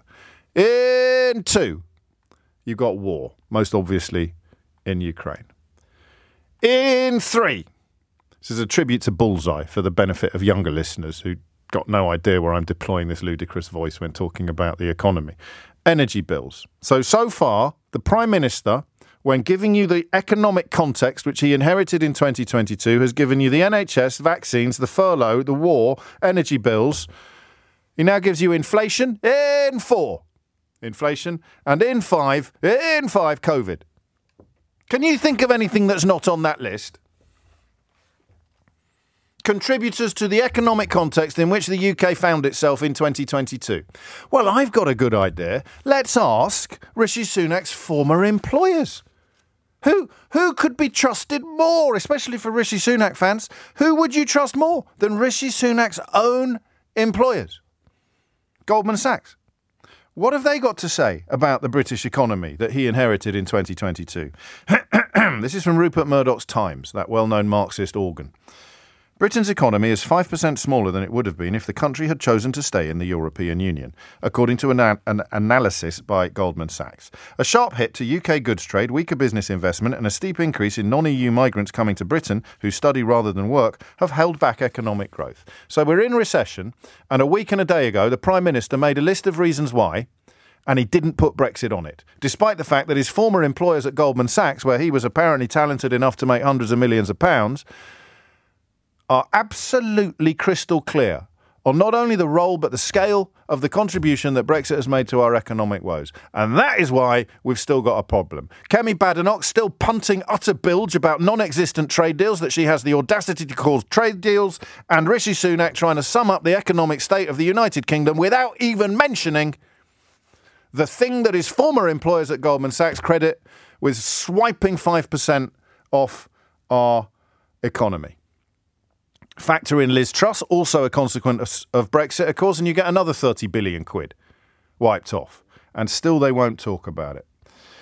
Eddie Stratford asks, what was Bully's special prize this week? I hope it wasn't a speedboat. 11.42 is the time. Peter is in Oxford. Sorry, Peter. I'm in one of those moods today, and you've probably forgotten why you rang in. Hello, James. How are you doing? Goldman Sachs are quite right. I mean, um, there are lots of reasons why we're in recession, but uh, I, I, think we can't ignore Brexit. Um, and we have to look at the number of industries that are uh, hitting the wall at the moment um, and the complete reliance we have on uh, labour from other countries. We, it was previously the EU, now it's from outside. Either way, uh, without the um, contribution of, of migrants, including myself, actually, but uh, I should say I'm Irish, but yes. Uh, without without migrants, the, the economy would, would, be vastly weaker than it is, and the evidence about that is very clear. Um, what was I going to say? The, the government published something to celebrate the fourth anniversary of the uh, of, of the official Brexit date. Um, Kemi Badenoch published something to celebrate the first anniversary of the Department of Business earlier this week, Indeed. but I couldn't bring myself to read it. Well, these are works of fiction, aren't they? I mean, if you want, if you want something, some bedtime reading, but uh, what is what is I think proves to us is that the gaslighting is continuing. Um, that there's really no no dawning of insight uh, on the part of our political leaders. What does it? What, what does it look like? What does the end look like? Not the end of the world, but the end of this weird period of purgatory well, in British politics, when everybody will finally agree, at the very least, that if you're making a list of the contributors to the economic context of 2022, then a former Goldman Sachs banker should acknowledge that Goldman Sachs puts Brexit pretty much at the top of the list. When when does that dam break? The main reason why, why I phoned is because I think the message has got to be that it, it is never too late to hope. Mm. I mean, both both the Conservatives and Labour are now colluding in this message that Brexit's a done deal and we can make it work somehow. And the reality, of course, is people are beginning to realise that you can't. You can fiddle around the edges, but at the end of the day, Brexit's a failed experiment. And it's never too late to admit that you've made a mistake. Now, there's this thing called sunk cost fallacy. Yes, I know. Which I think is behind a lot of it. And basically, it's people, uh, you know, people are throwing good money after bad. You make a bad decision, you think, well, I can't go back on that, and I've, I've lost so much, I've invested so much in this product or whatever it is, and, you know, th- th- this, this dodgy car, which I keep having to spend you know thousands of pounds on, on repairing year after year. Well, I think more of the you know the email asking you to send ten thousand pounds to, to to some Middle Eastern country because my cousin is the president and he can't get his money out of the whatever, and then you send it and they come back a week later and say we just need another ten thousand pounds to get everything over the line, and you send that. You're more likely to send it the second well, time than you. I know, but you know, fool me once, more fool, more fool. Yeah, I know, twice, I know more fool me. And uh, you know, so what I'm saying is that there is hope. And it's not. It's never too late. No, I know, but you're not telling me when when, when, when, when the dam breaks because you've still got people writing articles about it. You've still got people like Badenoch punting utter bilge about non-existent trade deals. You've still got Rishi Sunak not even putting it on a list of contributing factors. No, and it needs to be heard. And the European movement, for one thing. I mean, I know you've you've been aware of the European movement, and you've very kindly said good words about it. But you know, we are we are putting out a message. The mainstream media are being very quiet about it. Um, if you look at Byline Times and look at similar publications, you'll see The New whole lot of European do a splendid that. job. Yeah, the tiny voices, Um, t- small but um, growing voices, Peter, and yet. And yet, none of us actually know, and I, I, I- and I'm, I'm, I'm a big fan of both of those outlets. None of us really know what the, uh, what the end will look like. So, one of the journalists I quote most in my book, "How They Broke Britain," is this Allister Heath lunatic, um, and he writes today. This is the man that said Liz Truss's budget was the best of his lifetime.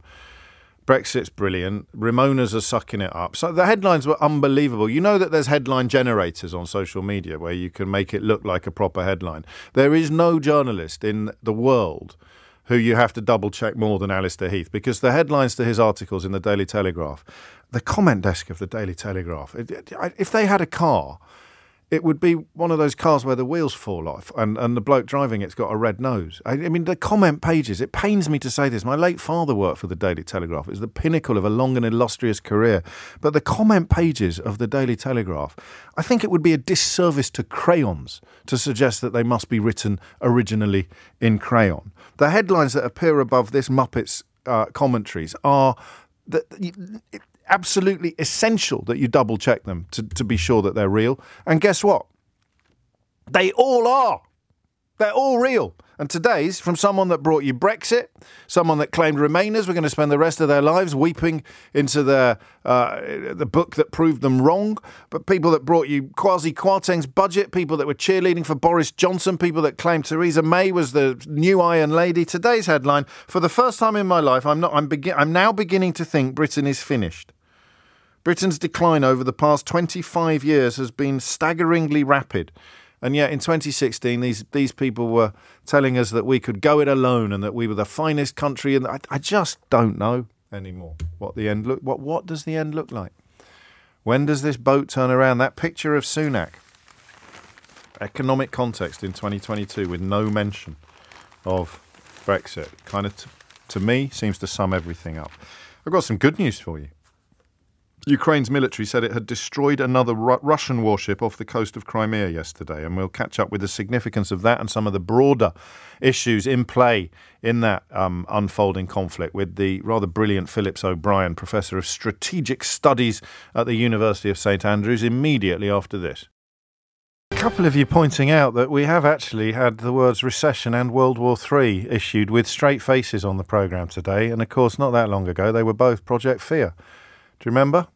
And it is to the latter of those two nightmares that we turn next with um, Phillips O'Brien, the Professor of Strategic Studies at the University of St Andrews. Uh, can we begin with, well, I think is uh, can be described as good news, the significance, if you would, Phil, of Ukraine's uh, destruction or sinking of another Russian warship off the coast of Crimea yesterday. I've read in some quarters, possibly yours, that Ukraine is actually winning the sea war. Is that is that fair? Absolutely. It doesn't get the coverage of what's going on Exactly. in the, the front line, uh, where the land war seems to be really going very, very slowly. But Ukraine has done remarkably well in the war in the Black Sea in 2023 and early 2024. Remember, when this started, the assumption was the Russians would simply control the sea, bottle Ukraine up. Ukraine had no navy, and indeed the Russians might threaten the Ukrainian coast. Well, what we've seen throughout 2023 is the Russian Navy has been, one, sunk in very high numbers. I mean, the loss of major warships for the Russian Black Sea Fleet is very high now. Those ships have been forced into the eastern Black Sea, so they're a long way from the Ukrainian coast. The Ukrainians are now shipping as much out of their ports now as they were before the Russian invasion. So, indeed, they've opened up their sea lanes. They're shipping now the amount of grains they were shipping before the invasion, which no one thought would be possible. And in terms of strategic uh, elements, what they're doing is trying to isolate Crimea. So these ships that they're destroying are very heavy logistical ships. They can carry a lot. They think of them in many ways like have well big armed freighters, Right. You know, or ferries Yes. that would roll on and roll off. So they they can take these things in, take things out, move supplies, and they're armed. Um, but if the Russians don't have these ships, then supplying Crimea relies almost entirely on the Kerch Bridge, and that's a real problem. Um, I, I hesitate to sort of ask the next question because we asked it in the context of the ground offensive in the, in the in the early weeks of, of the conflict, and we don't really ask it anymore because it's reached this point of attrition. But how do you account for Russia's failure, given uh, you know the issues of scale, and as you've just explained the preconceptions that they, they would be very uh, dominant in this field? What what I, suppose what's gone wrong is the question I'm asking. Well, the Ukrainians have adjusted to new technology better at the war at sea. I mean, Again. This, there's two things that seem to be doing this damage to Russian warships. One are actually the cruise missiles that were um, given by the United Kingdom and France, the, the Scalps and Storm Shadows. They've done a lot, but also the development of sea drones. Um, these are very small, they almost look like tiny motorboats uh, stuffed with explosives, but the Ukrainians have used those to extraordinary effect, um, often attacking at night. The Russians don't seem to be able to track them. They don't seem to be able to sort of defend their ships, particularly with these attacks at night. So the Ukrainians have taken advantage of the technological change in the war sea, and the, the Russians don't seem to be able to keep up, or they certainly are not able to protect their ships uh, from that. So that seems to be the general technological scale. So what people thought mattered haven't mattered. Large warships have become targets as much as they are assets. How interesting.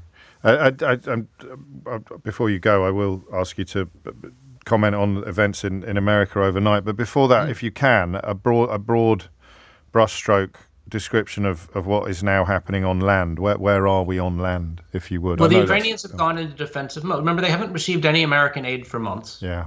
Um, and indeed, the American aid they were receiving in the fall after September is quite limited. So they didn't receive a lot October, November, December. They've received basically nothing since the new year from the United States. So they don't have nearly the ammunition they had before. They don't have the artillery shells. And that has meant that the, the Ukrainians have gone on the defensive and they're not trying to uh, advance, which, by the way, is good. Uh, advancing in this war is incredibly hard. I mean, people who talked about tanks streaking forward had no idea what this war was going to be. They simply misunderstood it. Vehicles are vulnerable when they advance. So the Ukrainians aren't going to advance, is my guess. Um, they're going to hope the Russians do, and when the Russians try to advance, they're going to exact a, a, a great toll. It's more, I think, for a while, the Ukrainians are going to try and go over the front line um, and damage the Russians behind it because going through it is such a difficult task. But we're in for a slog of a period on the front line uh, that it's going to be not a lot of movements. The Ukrainians are going to try and hold on with their reduced ammo. I mean, this could be a real problem for them if they have serious ammo shortage. I mean, they already do have, from what we can tell, ammo shortages.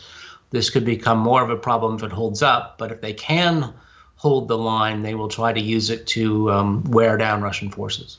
Um, I, you've kind of answered this question in, in terms during your answers to my previous ones, but I'll ask it explicitly. The significance then of David Cameron and, and Radek Sikorski um, adding their voices to the calls to defy Donald Trump, calls upon Republicans in the American Congress to defy Donald Trump and, and clear this aid package, which I think you've highlighted the importance of it. Yeah, I know Europeans sadly will make much of a difference in this discussion. That- How dare you? yeah, I mean, this is a basically the Republican Party walking around in terror of Donald Trump. Yeah. If there was a vote in the House of Representatives, a free vote on this bill, it would pass. You would have aid for Ukraine. There's a clear majority that would vote for aid for Ukraine. The reason it's not is because the speaker won't bring it up and because the speaker is terrified of the Trump wing of the Republican Party in the House. And the speaker is really powerful in the United States House. It's not like the speaker of the House and Parliament hmm. here. The speaker can really determine what bills get a vote or don't get a vote. And so what we are what happens is it's being held hostage by the Trump wing. And it's always about Ukraine. All this stuff about the borders, nonsense. Yeah, they, they could have had a, a deal. They could take Ukraine out and vote on it separately from the border. Trump doesn't want aid to go to Ukraine. Uh, and therefore, the Republican Party in the House, many of whom do want that, are really stuck on what to do. Now, it might be the Northeast Republicans in places like New York Yeah. start saying, look, we got to have this vote. We're getting hammered. I mean, people talk about the Trump wing, and yeah, the Trump wing plays really well in Alabama hmm. and North Dakota and South Dakota, but it's starting to really hurt Republicans in places like New York. And they might start going, look, we need a vote. We, we got hammered last night in, in New York 3rd. Sorry if I'm getting too particular about U.S. congressional races, but there was a special election in a U.S. and a New York congressional seat, and the Democrats won far more than the polls said they would win by. And so it might be that these Northeast, more moderate Republicans say to the Speaker, look, we need a vote, but it's still a long way from happening. And it's it's 50 50 whether this gets a, gets a vote or not. Phillips O'Brien, thank you so much. Always a pleasure. We should, I say this every time I talk to you, we should do it more often because I always come away understanding uh, these complicated issues better than I did before. Phillips, of course, plies his, his, his academic trade at St Andrews University, um, which I had the pleasure of visiting, actually. I should have popped in to say hello. I've never been there before. Absolutely beautiful. A stunning part of the world. The time now is 12 noon. It's Thursday. Hmm, I wonder what that means. This is LBC from Global, leading Britain's conversation. Mystery Hour with James O'Brien. Four minutes after 12 is the time. Um, I, I, I, owe you an apology. Don't tell anyone I told you this, all right? But I think I only got the question right in the last hour at about 12.42. And then, of course, Phillips O'Brien from St Andrews University joined us at 12.45 or shortly afterwards to discuss matters Ukraine. So uh, uh, I, that, that, there's a lesson for us all there. I'm not sure what it is, and I'm certainly not sure what it is for you, but there's a lesson for me there. To try sometimes, particularly with the stuff that you think is going to be easy because it's Brexit and that's your middle name. Uh, try a little bit harder to come up with a more focused and clearer question, and it'll just be more fun for everybody. On the other hand, of course, it gave me an opportunity to um, uh, I- I wax a little bit more lyrical than I usually do on the question of where we are now politically and why it's so important to continue calling out and standing up to the shysters and liars that have led us to this pretty pass. A day in February in 2024 when the world's words World War III and recession are being bandied about quite casually, and which in 2016 were apocalyptic uh, examples of so called Project Fear. How weird. What a difference eight years makes to go from insisting that they're completely hyperbolic exaggerations to describing them as, in one case, a reality and in the other, a very, very real danger. But that's enough of the news. It's Thursday. It's five minutes after 12. It must be Mystery Hour, your weekly opportunity to achieve the sort of satisfaction not ordinarily avail- available anywhere on your radio dial. Uh, I won't bother explaining how it works because it becomes imminently clear.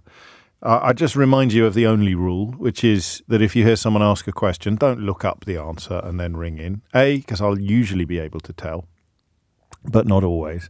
And B, uh, it, it makes a mockery of the whole practice. It makes a mockery of the whole game.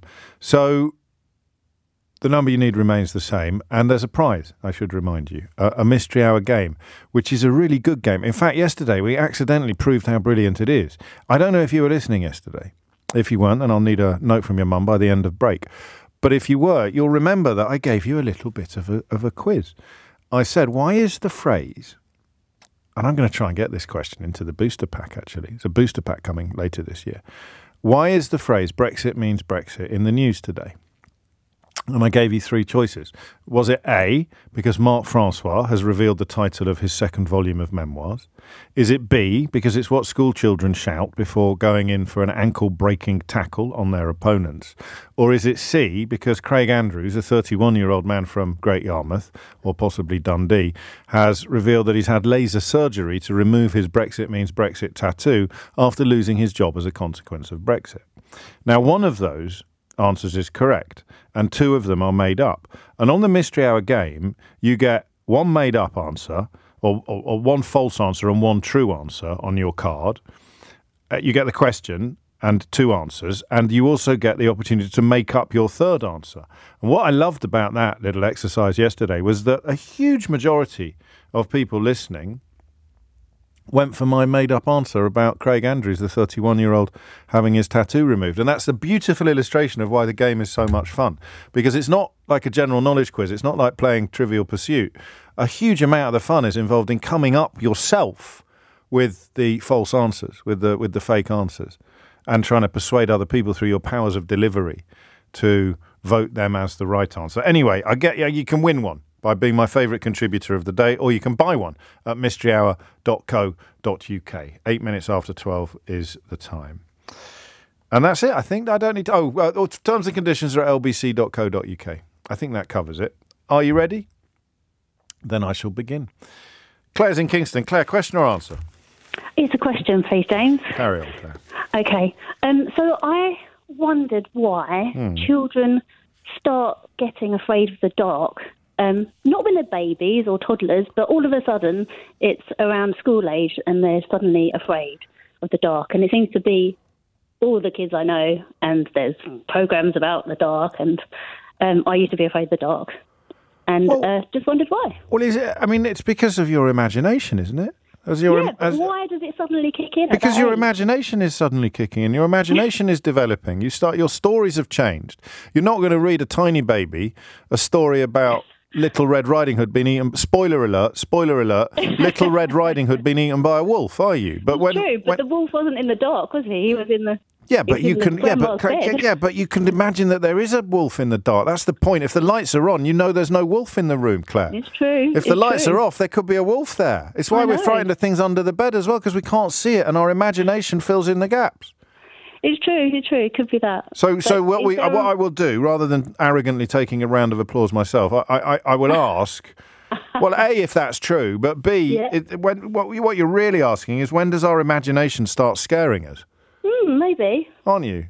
And when does it stop? Never. No, it never Yeah. stops. It never stops. Hmm. You're always going to be frightened of the thing that might be round the corner. Uh, you know, even if you're bravely marching towards it, inside, if, if you're not frightened, you're stupid because it might be a wolf. It's true. It might be a It's true, wolf that but you're that's running towards. bravery, isn't it? All right, why are we scared? it so. I'll, I'll keep it simple. Why are we scared of the dark? Okay, cool. And, and or, or why why aren't babies? And then as they get older, they are. That, that's possibly the question, isn't it?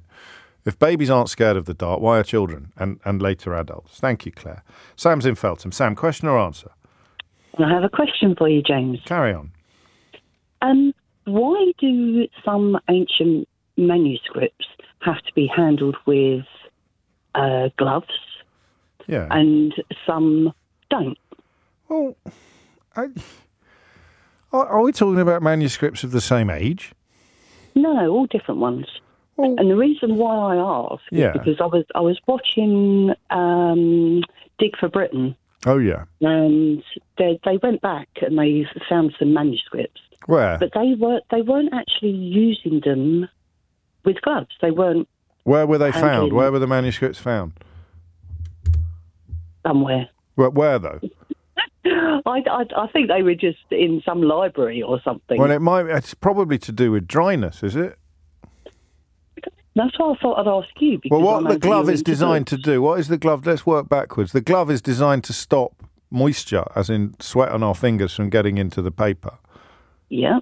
Which is not a problem with, if you like, normal paper. So it will depend on how the papers have been stored. If they're if they're not desiccated, if they're not dry, oh, I don't know. I mean, it's a weird question because you know. I mean, you haven't got any chronology here. So, because the answer could be if it's more than 500 years old, you need to wear gloves. But if it isn't, you don't. But you've got no points of reference apart from some papers you saw on Dig for Britain that you can't remember where they came from. And also, what do you mean by ancient? Older than you. There's a big world between new and ancient, Sam. It includes old, shabby, No, very, aging. very, very old. Yeah, but you don't know how. So where were these documents from? Where, what era were they from? The ones on the telly. Oh, uh, probably about 500 years ago or just something. completely made that up. Honestly, it's, it's such an amateurish inquiry. All right. Because it, it, um, I, I understand about the um, the sweat coming off your, your hands Yeah. and going onto papers. Now, Be the oils rather than the water, like the yeah, oils. The oils. Yeah. Yeah. So that will I was destroy some types of paper, but not other types, maybe. That's correct. And is it to do with the print? Is it to do with the paper? Is it to do with the vellum that was used? I don't know. That's why I thought I'd ask you. Yeah, all right. It's on the. I mean, I, did, I wasn't aware of the of the of the contrast, the dichotomy. I wasn't aware that some ancient documents do not require special gloves. Um, but the question is there: why, why, what, what, why do you wear gloves? What are the gloves for? Why do you wear them for some manuscripts and not for others? Why, why are children scared of the dark, but babies apparently aren't? That's got to be something to do with your imagination. What you need to do, what you need to do, is find someone with no imagination, with no inner life whatsoever, and ask them if they're scared of the dark. Because I, 'cause I bet they're not. I bet that you, if you can find anyone that's got no imagination, you know someone like that. Everyone knows someone like that. Um, it- no inner life, no imagination, and find out whether or not they're scared of the dark, and that will prove my theory. Twelve thirteen is the time. Terry's in Millwall. Terry, question or answer? Uh, question, please, James. Carry on, Terry. Um, if you're the young oldest sibling, oldest child, Yeah. are your genes stronger than the youngest child, and therefore you tend to live longer? Mm. The parents being younger when they first had you? Chances, well, you know, um, I'm talking this as a youngest child, so I've got skin in this game. Well, what Um, I, I don't. I mean, what, what do you mean by stronger though? Do you just mean live? Because there's a million. they will live longer. Yeah, the oldest child That's tends not. to It's live nothing longer. to do with this, do they? Is the, does the oldest child tend to live longer? Well, to be honest, I'm looking at me and my mum and dad's side, and it's Yeah. worked on that. It's, it's the youngest have gone that side, and my, my father-in-law's it's worked on that side. Right. And I'm just thinking, So that's based entirely upon your own family tree, not on any sort yeah, of. and also, okay. and also, uh, years ago, an old fella told me this in a pub. Did He's he? just come back from his his brother's funeral, and he told me that the oldest child is always going to have the stronger genes because the parents at the time of making him were Fitter. virile and a lot younger. And yeah, Well, I don't. Well, I mean, it's unlikely. I'd have thought, but it's, It's bad working. news. It's bad news for some people, isn't it? If it's Bad true news for me. It's bad news for you. I don't know if I like the phrase "stronger genes." I don't know if that's helpful in this context. So, if we said longevity, is there a relationship between being younger and older siblings and longevity? yeah. I mean, is the first one is the firstborn always going to? You know, not always, but Is there is there any link between being born first and living longer? That's what we want to Yeah. know. Has anyone done? the- someone the done. Someone's done the numbers, and if obviously if there is, we want to know why. But if I were you, Terry, I wouldn't worry too much. I'm not. I'm were, not. were you at the football last night? Uh, yeah, yeah, I'm sorry. I'm sorry. yeah. I got yeah, a message- there on Saturday as well. Oh Lord, I got a message off Danny Baker this morning. He said, "I think we're going to have to call it the St Valentine's Day Massacre." yeah, yeah, and I'm off the drink as well, so that don't help. Oh dear, oh dear. It's, it's, it's queuing up. The punishments are queuing up. Take care. It's twelve fifteen. Mystery Hour on LBC with James O'Brien. It is 18 minutes after 12, and you are listening to James O'Brien on LBC, where we would like to know why uh, why children become scared of the dark. They're not scared of the dark when they're tiny, but they become scared of the dark. Why some manuscripts demand the wearing of special gloves while others don't, and whether there is any relationship between longevity and among siblings and the order in which you were born? I like those questions. Someone just tweeted that they weren't very good this week. Xander tweeted, Come on, what rubbish questions? Get lost, Xander. They're really good questions, those. Honestly. Everyone's a critic. Um, Trevor is in Frimley. Trevor, what would you like to say? Uh, question, James. Carry on. Question from well from my from my daughter Eloise. Oh, When we were eating a, a jar of pickles the other day, she said, Oh, "Daddy, nice. why is it that when we eat pickles, only one of my eyes goes all squiffy?" Does that happen to other people? Absolutely. I had no idea. I've been Oh, really, yeah. I've been a bit worried about that for about two years. Because I, I have Oh, a, no, I- don't laugh. Don't laugh, Trevor. Um, Eloise is allowed to laugh, but you're not. The I, I have kefir in the morning, like a fermented goat's milk. Would you believe? It's one of my few um, uh, submissions, if you like, to, to encroaching age, and it, it's it's worked wonders. I won't go into any details, Trev, but it's worked wonders for my guts. It has. It's worked wonders for my guts, and but it is very sour. And my left eye twitch. I don't get it with pickles. I eat a lot of pickles. Would you believe? But but with that particular drink, uh, my left eye goes a bit. My left eye twitches a bit. Interesting that it's your left eye because we've looked at ours and it's our left eyes as well that seem to twitch. And so it's a sourness triggering a twitch. Yes. So I mean, is the question why is it only one eye, or is the question actually what's going on there then? Well, the question from Eloise was why is it only one eye? But it would be good to know what's going on there as well. I just I'm sort of doing little twitches now in the studio, like involu- vol- voluntary rather than involuntary twitches. Oh, you know, that's a superb question, actually. I, I hope we get an answer because I really, really want to know now. And, and I'm going to break the habit of a lifetime and I'm going to allow both of them, as a tribute to the brilliance of Eloise's inquiry, I'm going to let both of them stand, actually. I, I want to know why it's only one eye, but that, quest, that answer will probably also involve an explanation of what is actually going on. Superb. Perfect. Thank you, Trevor. And thank you, Eloise. 21 minutes after 12 is the time. Zara is in Kingston. Zara, question or answer? Answer, James. Carry on. It's about why children of kind of school age are afraid of the dark. Yes, why they become afraid of the dark. So there's there's quite a few answers. So should I give you the headings and you can tell me which one I should expand on? Well, where are the headings coming from? I'm a child psychotherapist, Oh, and it's a kind of developmental thing. Yeah. Yeah, go on then. So uh, one is evolution. which is- Because we will be frightened of threat, and and we if we so when we can't see threat. So being frightened of being frightened be- is a good thing because it means you're less likely to be eaten by the thing that you're frightened of if you're frightened of it. can't see anything and you hear kind of something and you're in a Yeah. cave, you should rightly be a bit scared of that. Yeah, got it. Next, let's do them all one at a time. Carl Jung, a, a contemporary of Freud, without sounding really like well, um, he was he had a theory about the shadow self and that children became afraid of monsters under the bed essentially because they were becoming aware of the darker side of themselves. Oh, very Jungian. Um, I'm not sure I subscribe to that one so much as the Although a lot of therapy is still Jungian, isn't it? In in in in, in essence, in its source. I, I, I, that's a really thought-provoking theory, which I haven't heard before. But carry on. So that's one of them. The final one is something I work a lot with, and it's actually it's not so much a fear of the dark; it's a fear of separation because parents know about separation anxiety during the day when you drop your toddler off at nursery and they cry, but actually at night that's a really big separation, and you've gone from being together all day to suddenly being on your own, and you know you kind of have to pretend to be asleep in order to fall asleep. It's a weird skill to learn, Yes. and children actually just aren't quite ready. It's a really big transition away from their parents, and often it comes out as I'm afraid to be on my own in the dark. But actually, what it is is I'm afraid to be without you, and I'm not ready to. So they'd still well, hang on, because under that theory, they'd still be afraid if the lights were on, Uh, yes. which isn't the case. No, but they tend to because children don't have, often have the insight to know exactly what they are afraid of. They can kind of think Okay. of what. yeah. So separation anxiety is, uh, is is is is quite angsty. It's like an angst rather than a very so- specific. Mummy's not here, therefore I'm frightened. Yeah, so often what I have to support uh, it, with the parents I support through this, it's about kind of translating what your toddler is saying or doing, or your child is saying or doing, and thinking, I wonder if what you're really saying Oh, is like that that. actually you're not ready to say goodbye. Yeah. Can I ask a, a favour, James? Oh, hang on, not really. Go on.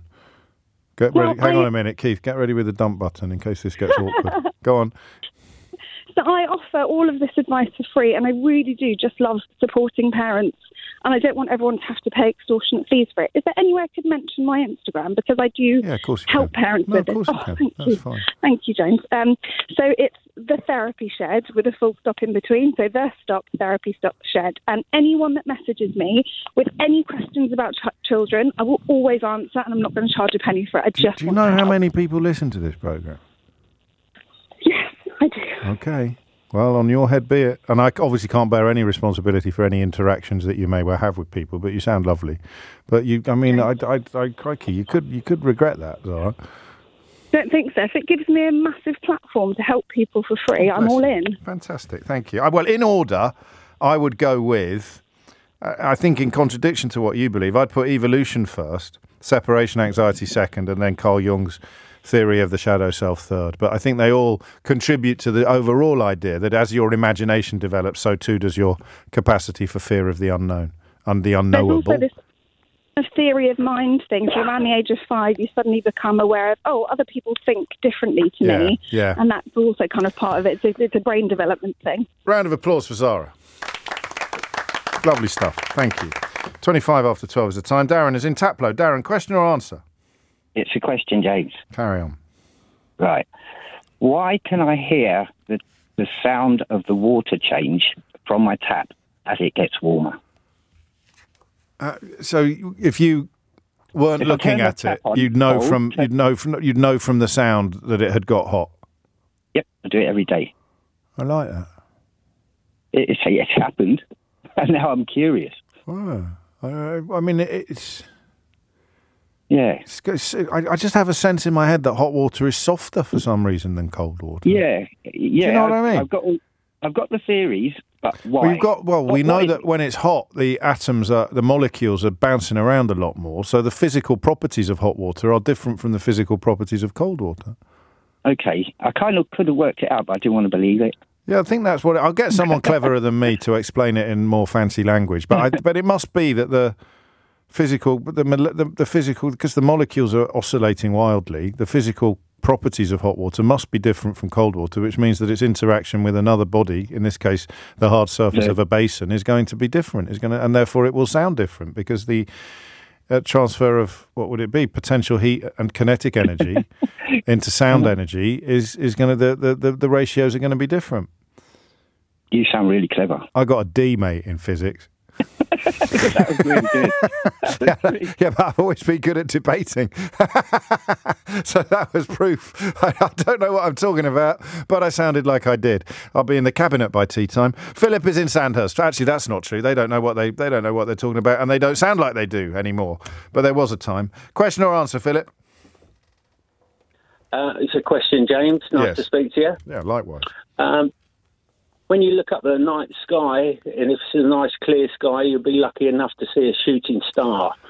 Yes. And um, they usually go from left to right, right to left, or over your head. But Yeah. can you see them if they're coming directly directly at you?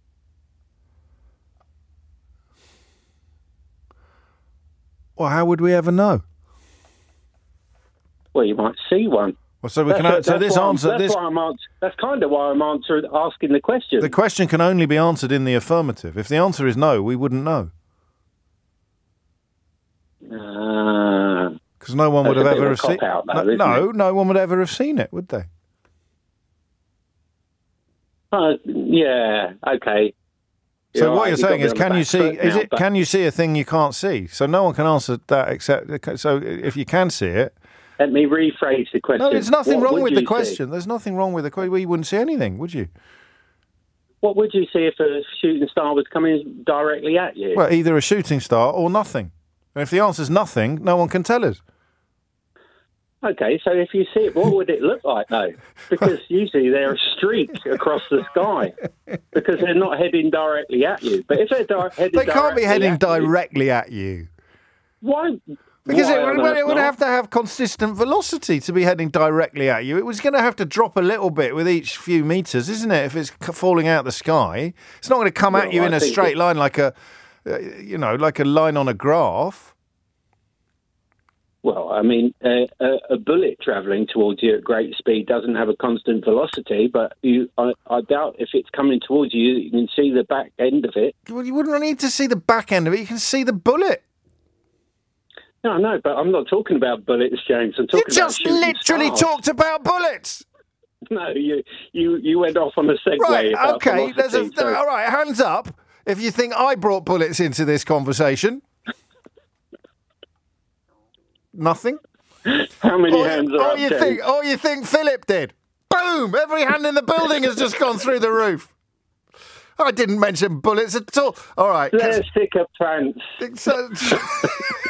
So, so, how can can you can you see a shooting star if it's coming straight towards you? Or more aptly, what would you see? Yeah. Uh, Wait there, mate. Okay. Uh, no, stay Put there. it on the board, mate. Yeah, I, I will, mate. But just bear with me. Who let him on? Who put this? Who put? Oh, God, look at that. They're, talk about. I tell you, you think you think the hands went up quickly when I asked who brought bullets into it. You should see how they're all trying to throw each other under a bus now, Phil. Unbelievable, man. I'll, I'll tell I'm going to say it's Keith, but I'll be lying. It's Amelia Cox is here now with your headlines.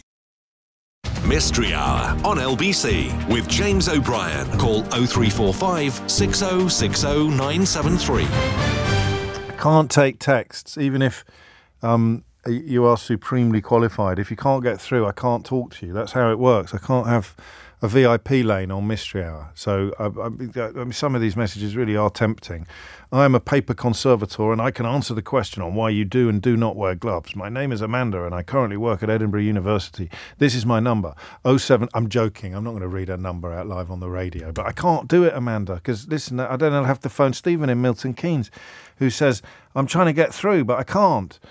Neil deGrasse Tyson once but, but, but, but I can't. I, it's so frustrating sometimes, especially if we get to the end of Mystery Hour without the questions being answered that you've answered on text. But I made these rules up many years ago for reasons I can't entirely remember, and I can't change them now. Well, I can, but I'm, I'm not going to. Uh, Andy's in Teignmouth in Devon. Andy, question or answer? Question, please, James. Carry on. Um, I've been reading a history textbook. Oh, yeah. Um, and just en passant, it mentions that during the French Revolution, after they guillotined um, Louis XIV, Hmm. they changed the order of playing cards. So that prior to killing the king, It, says, it says two, this in the book, in the history yeah, book. and, and a very, very authoritative history book written by an incredibly well-known author. Who? Which is which has got things at the you know pages of references at the back. Yeah, so is mine, mate. I wouldn't read too much into that. How, how, who's it by? Yours is very good as well, I'd have to say. You're very kind. Who's it by?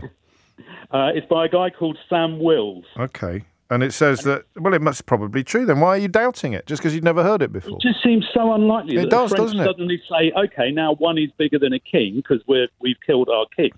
Surely the rest of the world would say, "Well, we're not having any of that, and we we don't get on with your French eighty thing. Yeah. We're not having any of it." Or they get rid of it altogether. He chopped his head off. Why have you left him in your pack of cards? Yeah, it could be that as well. Could just go Jack Queen Ace. So, well, you probably have to get rid of the Queen as well, to be fair. Yeah, actually, good point, well yeah. made. Yeah, well, thank you. Um, Marie Antoinette, wasn't it? The, uh, Yeah, it was. the- so, well, is it true that the, the, the order of rank on a pack of cards changed after the execution of Louis XIV? Exactly. Well, I'm like, I'm with you on this. I, uh, it seems very, very unlikely to me. But As, as your producer said, she just went, "Really?" And that, you know, I was I was reading serious facts, and then I just I read that and I went, "Really? No, really? No. then you went, no. You go, really? No. I'm going to phone James O'Brien. no. There it is. Well, let's find out. It's not me that would know the answer to that. Well, I sometimes do, but not on this occasion. Is that true? And and can we go definitive on it, do you think? 0345 6060 973. Thank you, Andy. Ashley's in Bournemouth. Ashley, question. Oh, it's all by the seaside today.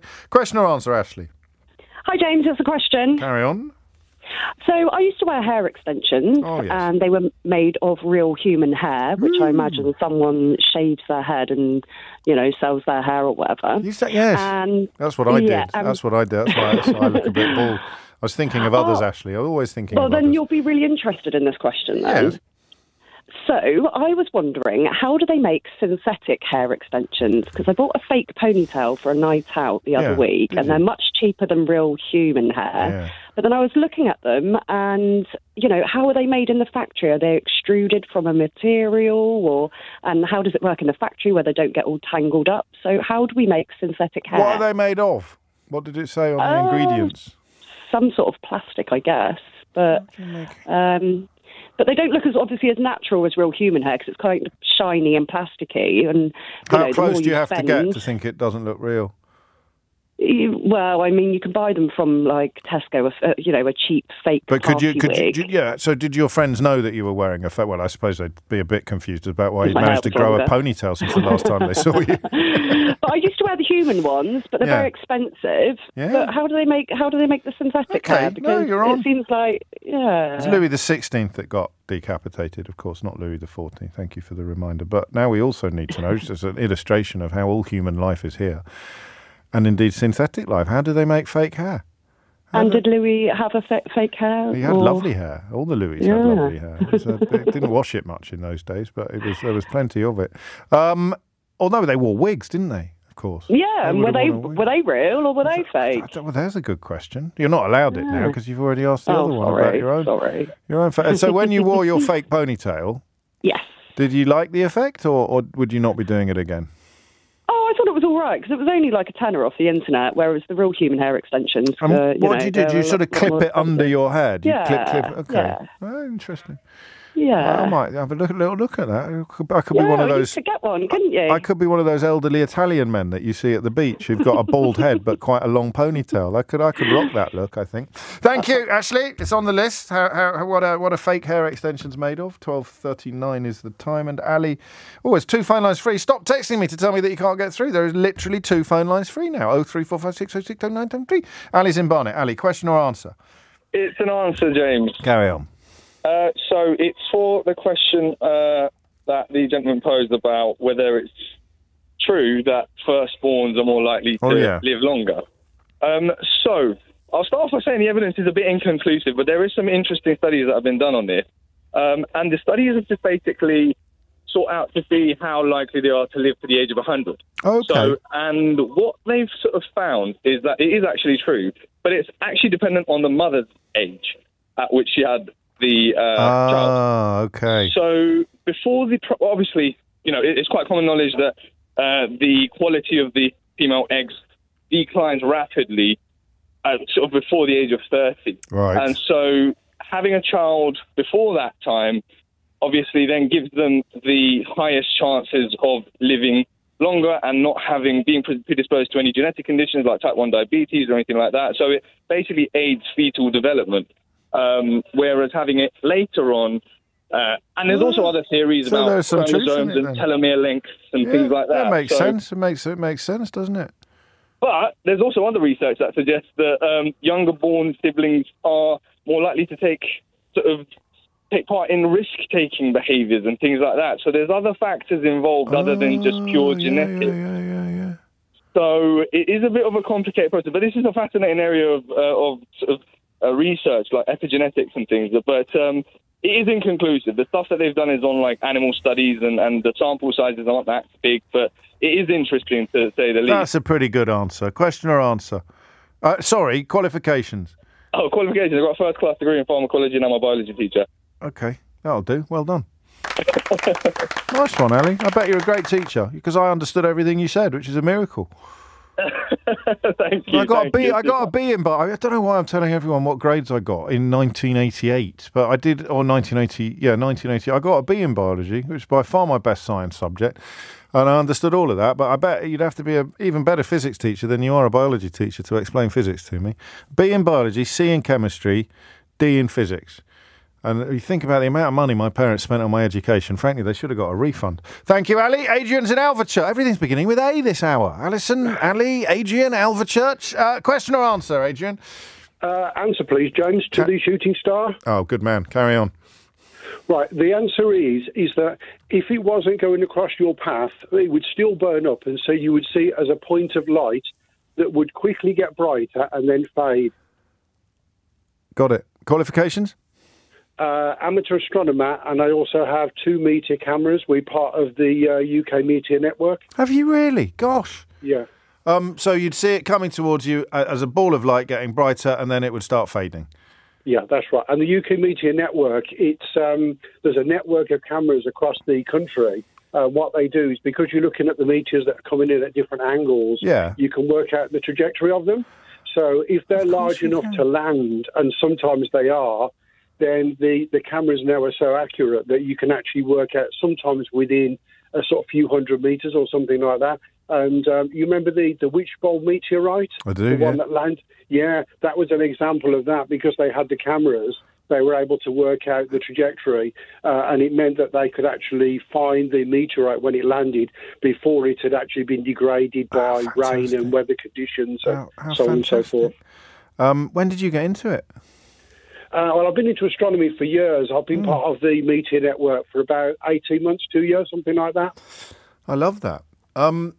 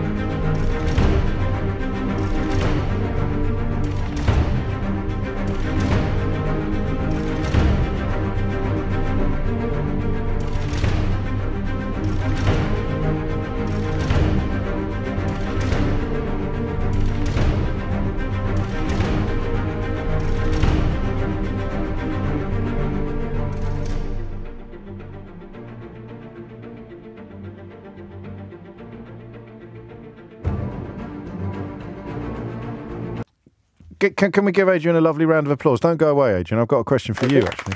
Okay. Thank you very much. Stay there. I don't do this very often. You know I'm from Kidderminster. Ah, yeah, just up the road. That's right. So I know something about Alvechurch uh, that will make quite an interesting question for a hook and tease. I like to do hook and teases these days. I don't really need to do them during Mystery Hour because people are going to stay listening over the break. But some people sometimes get distracted.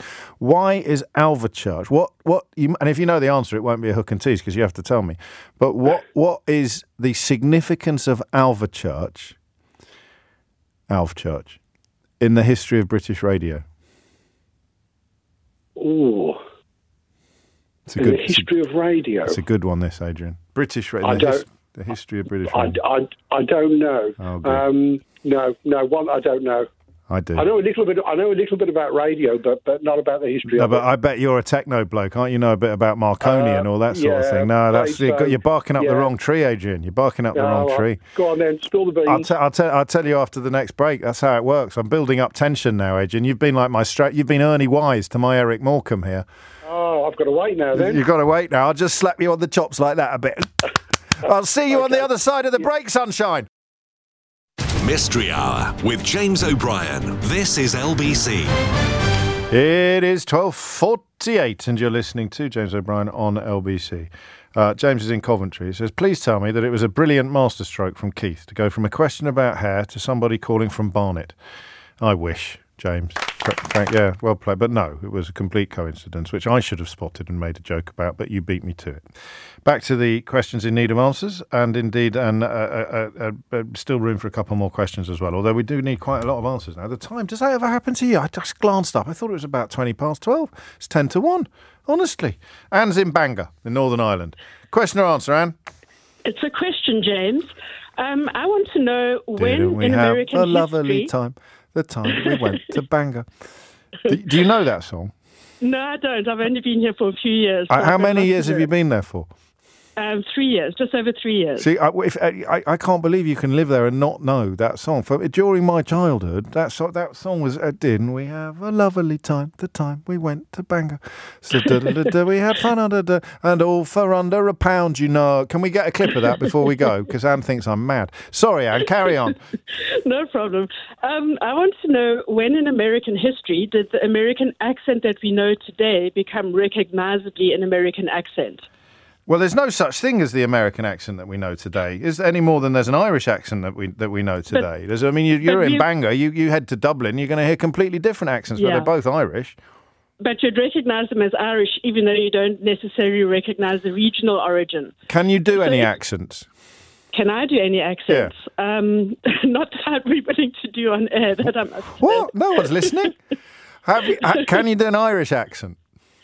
I'm trying, but it's really, really difficult. So That- I've been so- practicing the how now brown cow. Hi, Nye. is impossible. Hi, Nye, Kai. Kai. There is a theory. there is a theory that if you do an Irish accent and hold your nose, then Yeah. then you get a kind of American accent coming out. It's something to do with the relationship between immigration and the flu.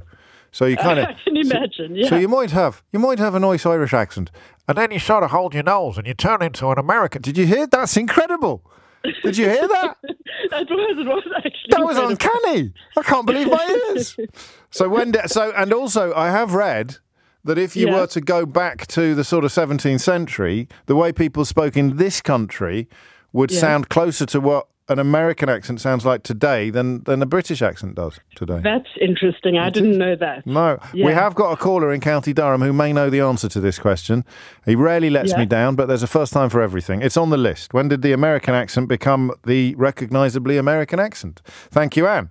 And I didn't invent that song. I can't believe no one's. Oh, it was. Oh, no, yeah. The day we went to bank. The day. Yeah, no, it did. I'm not going mad. Can we get a? Can we have a quick? Anne, don't go away. Here it is. Are you ready?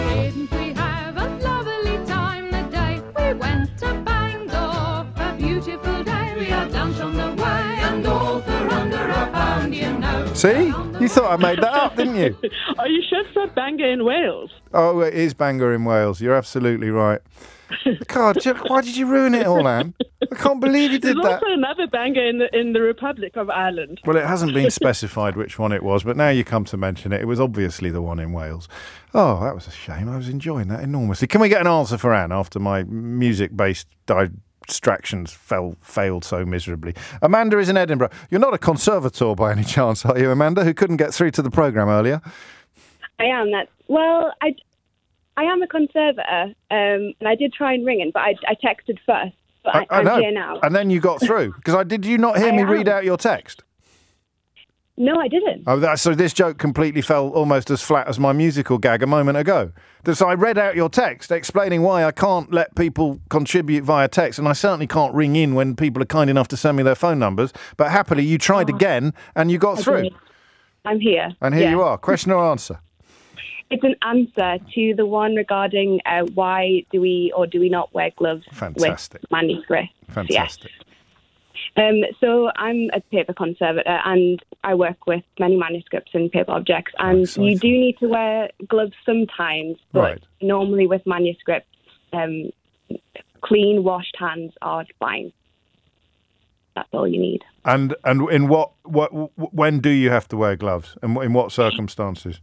So if it's got any like metal, any like gold, silver, those type of ah. thing, then you would wear gloves. But we wouldn't recommend you wear white gloves or cotton gloves, or because they're just in theory like wearing mittens or like winter gloves. Yes. There's really little to no dexterity with them at all. So we would recommend like surgical gro- gloves. Nitrile, nitrile, nit- nitrile yeah, gloves. Exactly. And it's because because of the effect that the oils in your skin could have on the materials like the gold, but they're going to be fine with the actual paper. Exactly yeah. Oh, it's superb. I know you've already told me, but the rules insist that I ask again. What are your qualifications? Um, so I'm a paper conservator. I specialise in um, paper and flat What are you working on at the moment? yeah. What are you working on at the moment? Um, I've actually just got a Max Ernst up um, that I need to do some tear repairs on, so I'm going to do that this afternoon after I've eaten. how, how did, how did don't forget to wash your hands? How did you? Yeah. How did you get into it? Where did the enthusiasm blossom from? Um, I did a, a fine art degree um, Oh. in Newcastle, and then I my tech my technician was like, Amanda, because I make paper as well, and they were like, why don't you come and see this? And Northumbria University um, offered a paper conservation course, and that's how I got into it. That's yeah. absolutely. That's one of my favourite answers of all time. Have a round of applause on me, Amanda. absolutely fascinating. Thank you. I have indeed, Chris, forgotten the answer to my question, and no one's reminded me. I, I instruct my colleagues every day not to let me go home without revealing the answer to the question that I've posed on the show before a break.